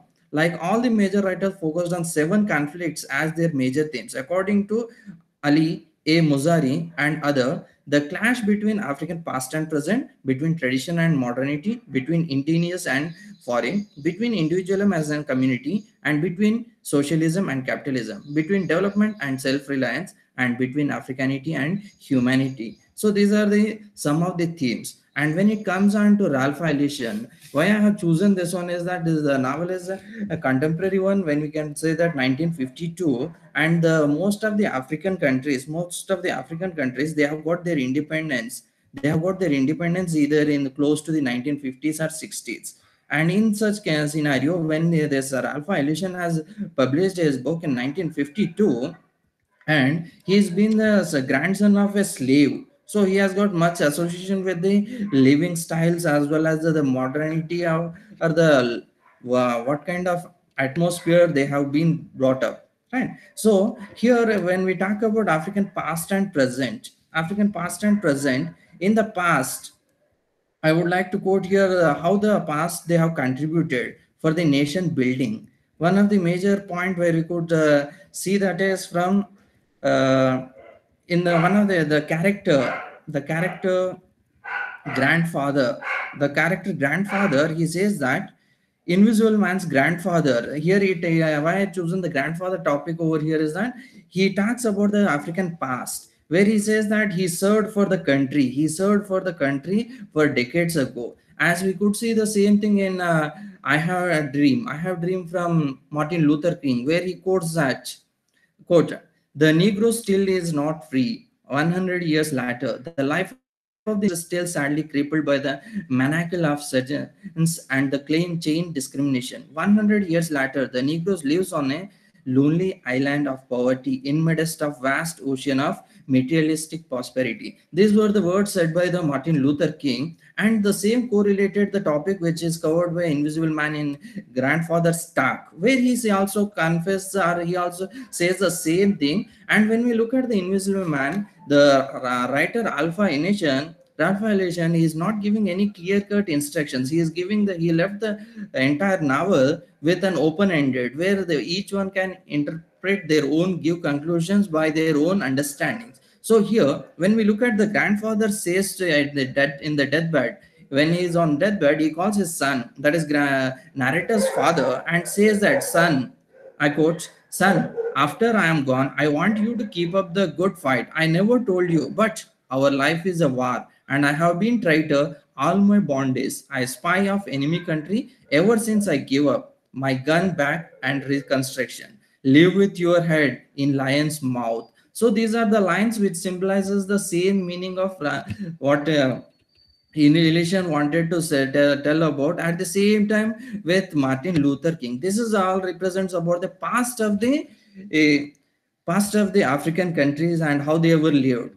And then when we talk about in when we talk about the this main story where the invisible character, right? He didn't even take up the name for a sake, right? And what he says, as a child, when he grown up and he becomes a good orator, and at his school premises and at his higher studies, in one of the oration, he says that instead of saying that, he says that social equality instead of social responsibility, and that has made uh, uh, his life go into the worst, and to that that leads to him to be one of the I see the ire of the white people, where the I, white people what they wanted, uh, they wanted the blacks to suffer. So here in this one also, what happened? The trustee who actually who takes the trust who takes the trust and who so takes the invisible man into confidence and saying that i will be patting up you and i will encourage you in all the way and at the last what he has done he has given seven letters of recommendations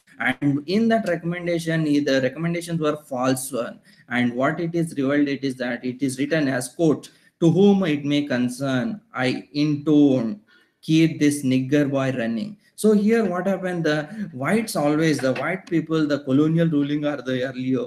What happened, these people tried to dominate and these people tried to take up the trust of the black people and they tried to keep these blacks to suffer. So that is about past and in the, in the even the present also the same and when it is comes on to the one of the trustee when he has given the seven letters and he goes all the way and when his identity those letters identity is proved that is they are of falsy he takes help of one of the trustee's son and he joins in the painting liberty painting wherein where the it is known popularly for making of white paint of good quality. And here what is the significance of this painting is royal this painting is that this painting is made, made up of black and white and the way they are known for the making of white paint which is popularly known and the white paint is done based on the uh, hard work which is rendered by the black people as well as white and output comes as a white paint. So here what actually the invisible man he wanted to tell that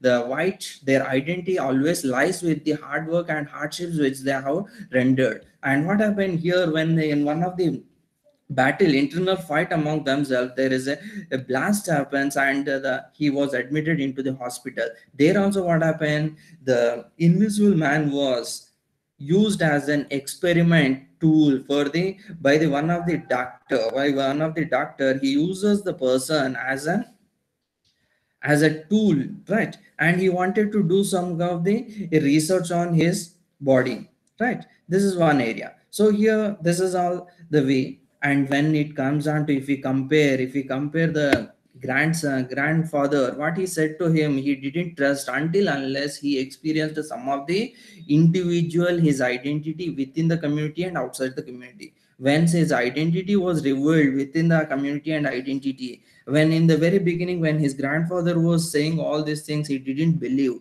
But when it comes onto his life. And even uh, the topic when we talk about invisible man he likes to he goes as underground or else he hides himself from the society. And what he says here his identity is uh, kept in hidden not because of he is not physically present because of people started not looking at him. So these are the some of the uh, deprived situations of the invisible man where actually the grandfather made him several reminders that these white people were cheated and everything. And what he wanted he wanted the, his son as well as the next uh, uh, way to come they are to fight against to the white people for their rights. And what he says that uh, let it to be vomit out. Till the he uses one of the phrase that is uh, to uh, let them to be vomit out. And if you look at these white people that is Sybil, one of the character, right, who uses him as an as an sexual right uh, to uh, to yeah Sybil she uses her fulfill her sexual desire. So here it is one more aspect what he wanted to tell is that even the black people were used by the whites as say to fulfill their sexual desire.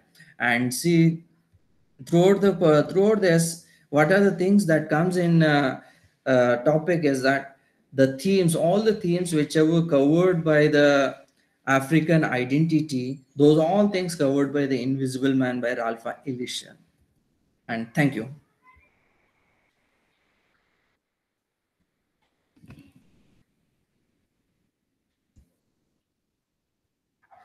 Could you able to hear me, ma'am? Yes. Yeah. Thank you. Thank you. Yes, sir. So, any more questions here? Anyone wants to question?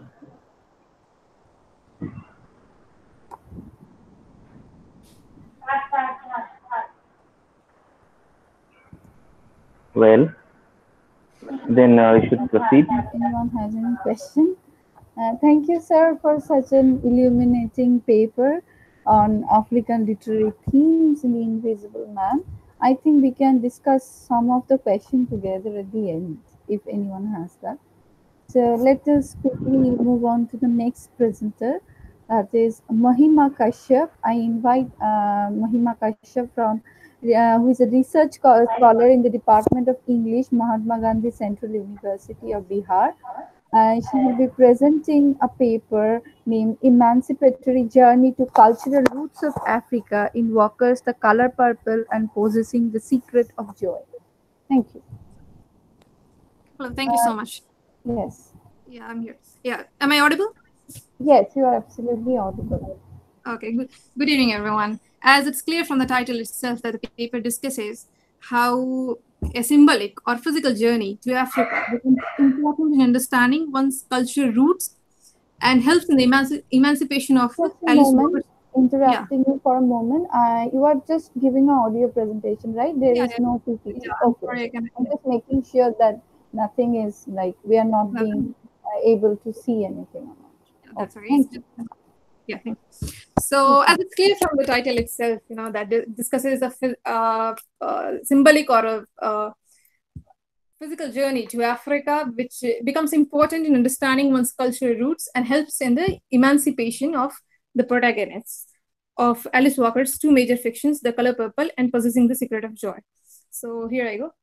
Uh, the genre of African American writing has a complicated history, considered to have begun from the slave writings, mostly in the form of a memoir or autobiography. It has, in the recent times, achieved unprecedented dimensions.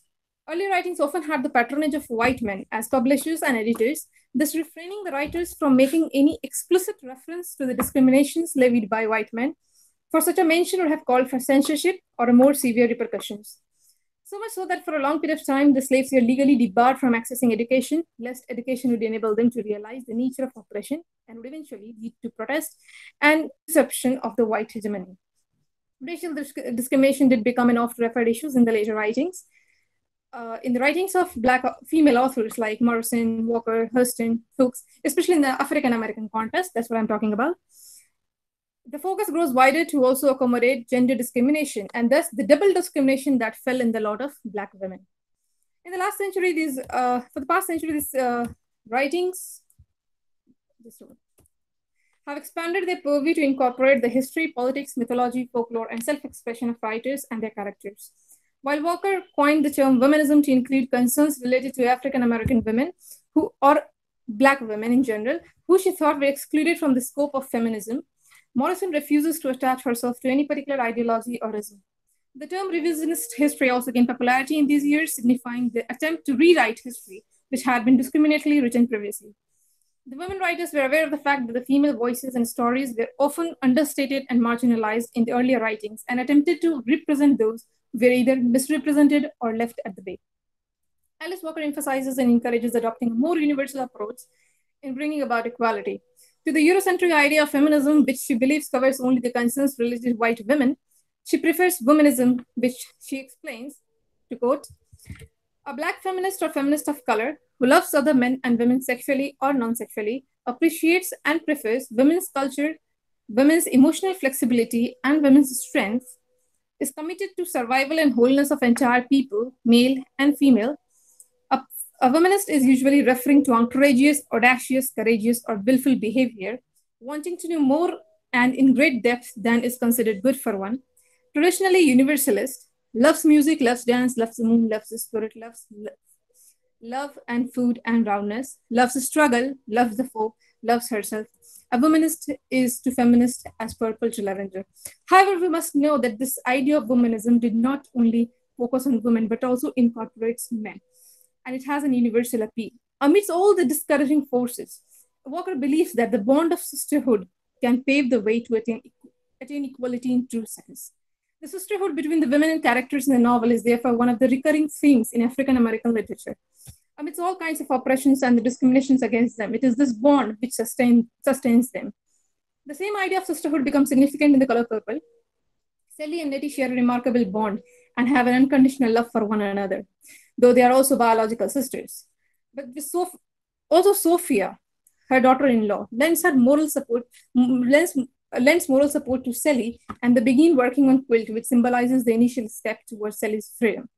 The arrival of Shug Avery helps Sally discover her own self and body, and she eventually shuns away the imposed idea of a white god in favor of a loving god. Later, Sally leaves for Memphis, where she, with Shug's support, she achieves financial independence. The same bond of sisterhood strength, strengthens Tashi in possessing the secret of joy, wherein the former can always depend on Olivia's consistent support. Quote unquote, through bribery, even manages to enter in the prison kitchen to provide fresh dishes to her friend and sister in law, serving sentence therein. By the end, Tashi is able to bond with dead Lisette, her husband's lover, through a letter of confession.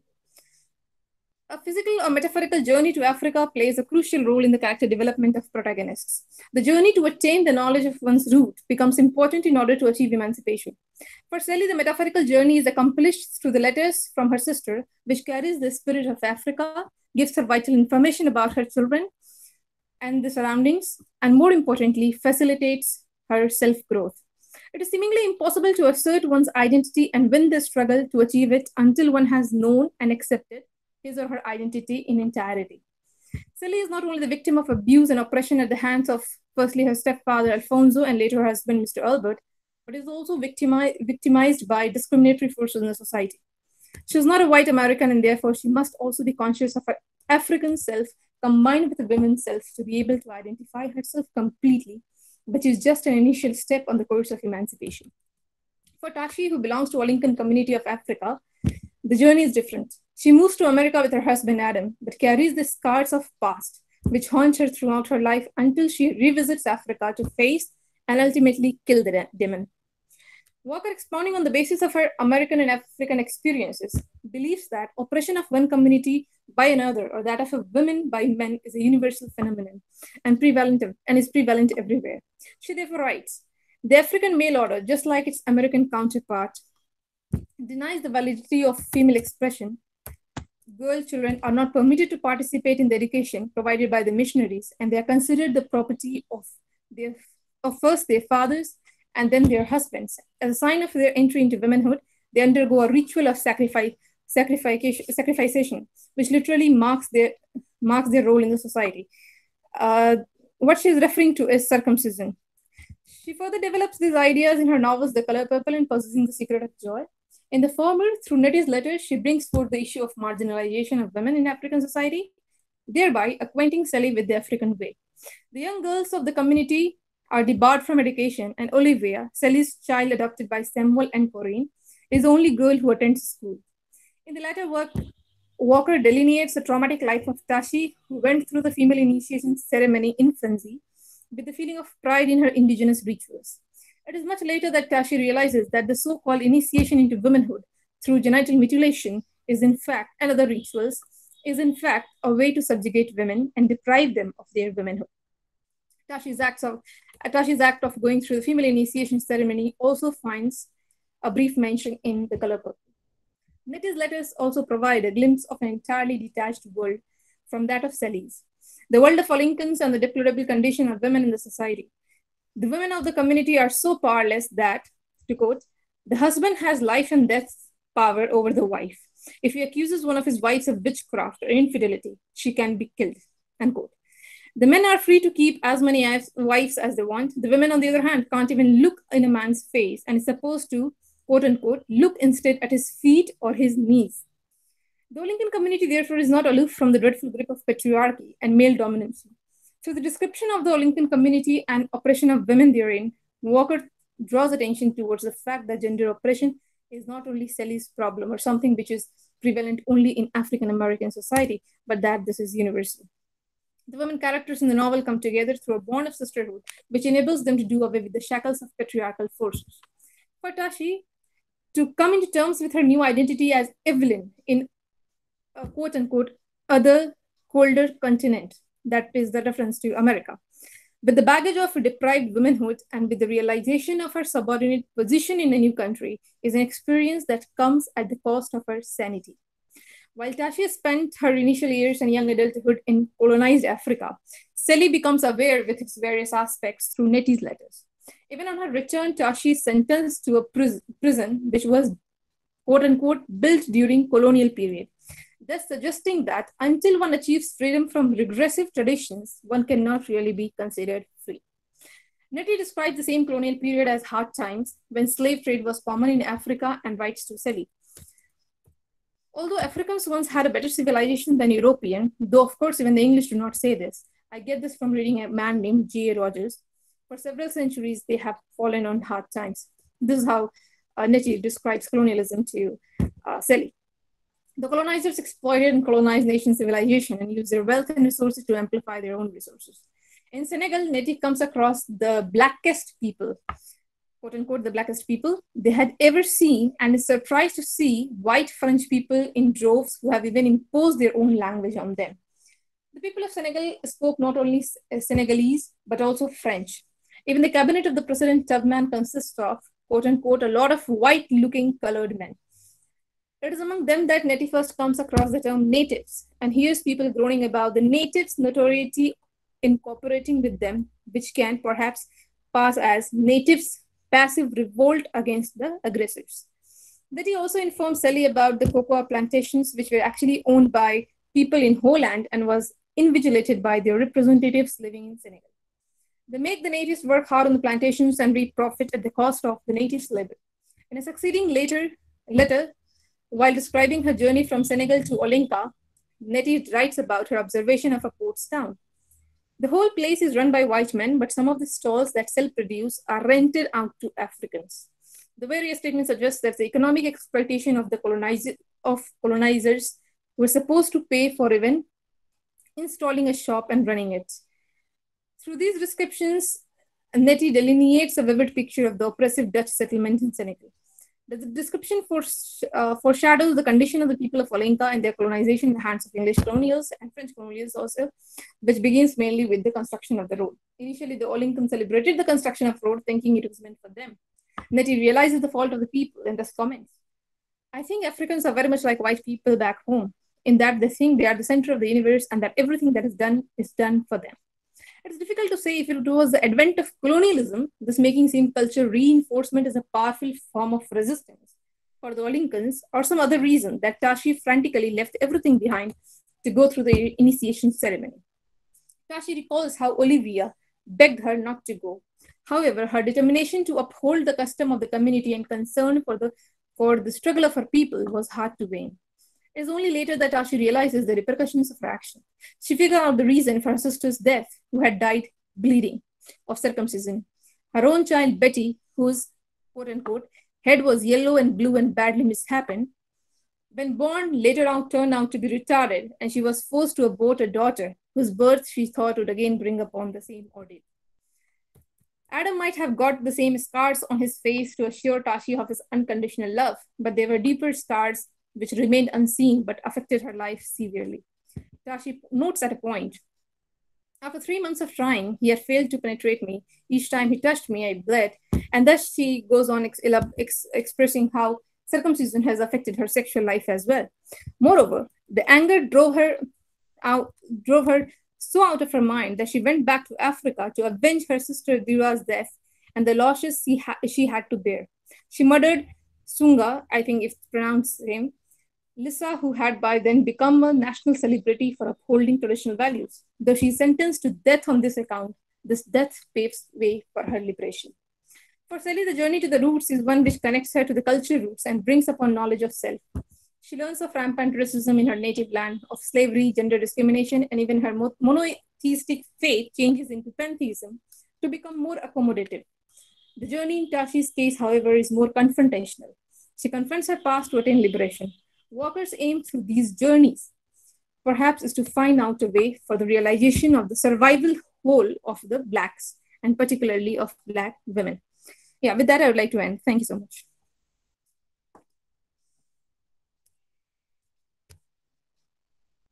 Thank you. Yes. Thank you, uh, Thank you. Mahima Kashyap, for your presentation. Um, anyone has any questions or comment to make? Any questions? Okay. Um, I don't have a question. I was just thinking as I was listening to your paper that it is always like when we talk about African culture, the first thing that comes to our mind is, of course, the colonial operation. For women, it is not only double operation that we were talking about, which we see in other uh, parts of uh, the continent as well. For India, for the Dalit women, it's always double marginalization.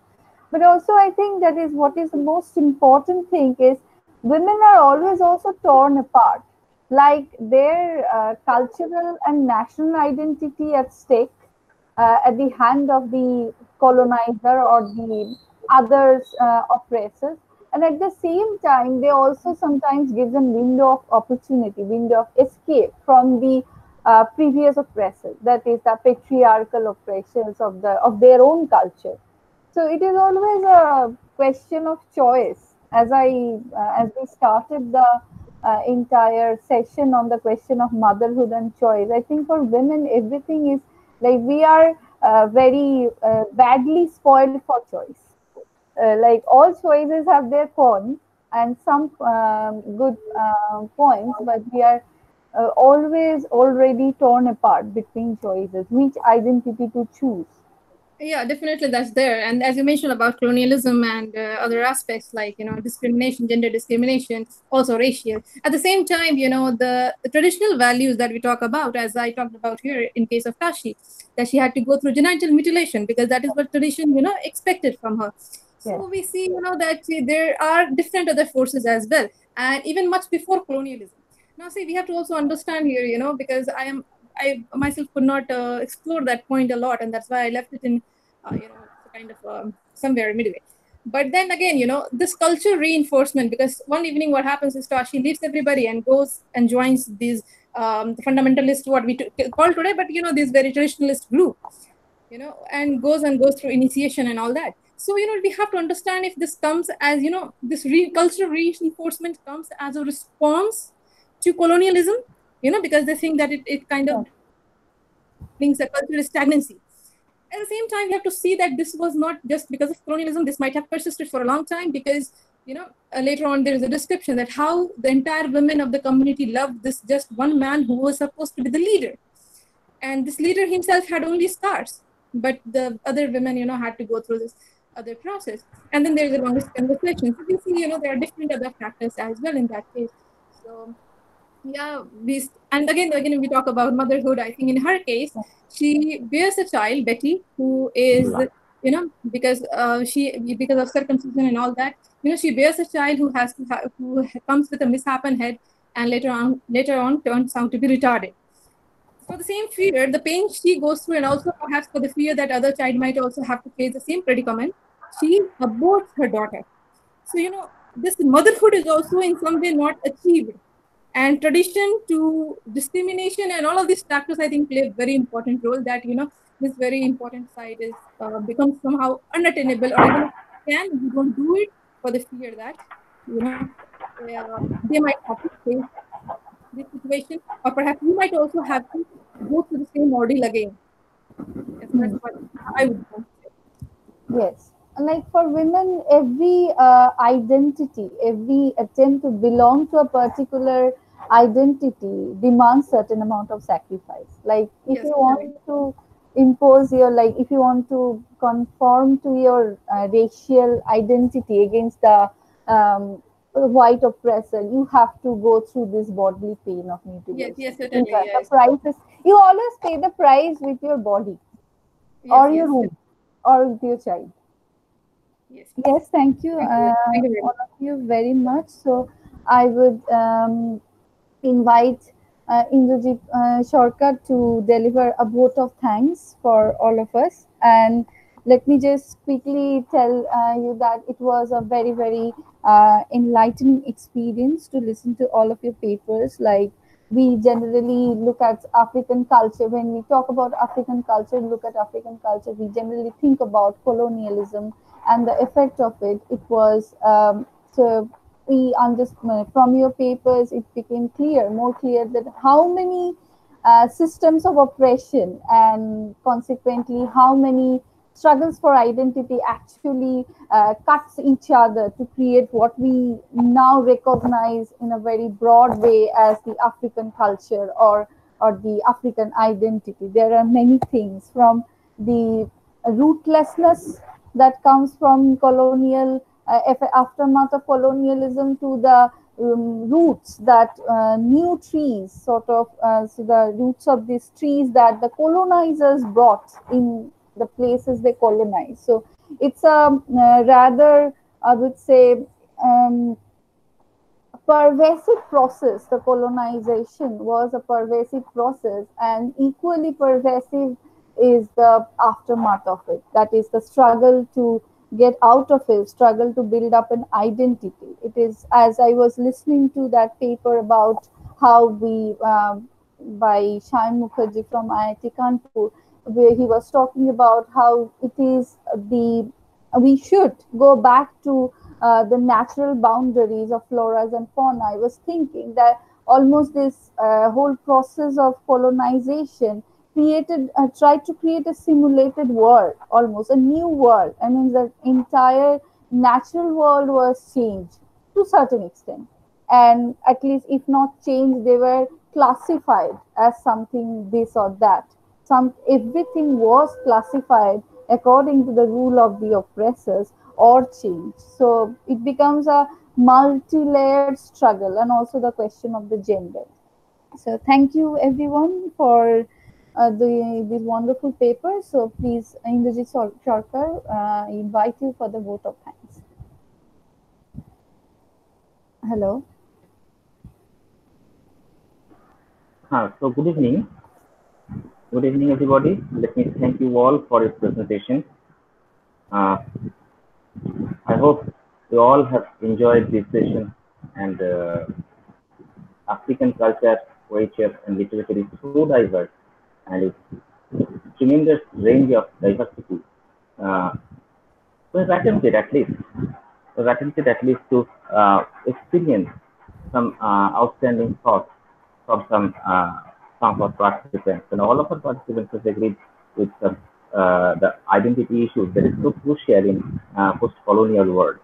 Uh, so, um, hope all of you have enjoyed the session, and thank you all. So, with this, we are going to conclude this session and uh, I'd like to thank Professor Roy Chowdhury for her opinions on identity as well. So thank you all. Yes, thank you all. Um, um, thank you, Indrajit Sarkar, for such a wonderful vote of thanks and introductory note. So I think we can end the session now with all your permission.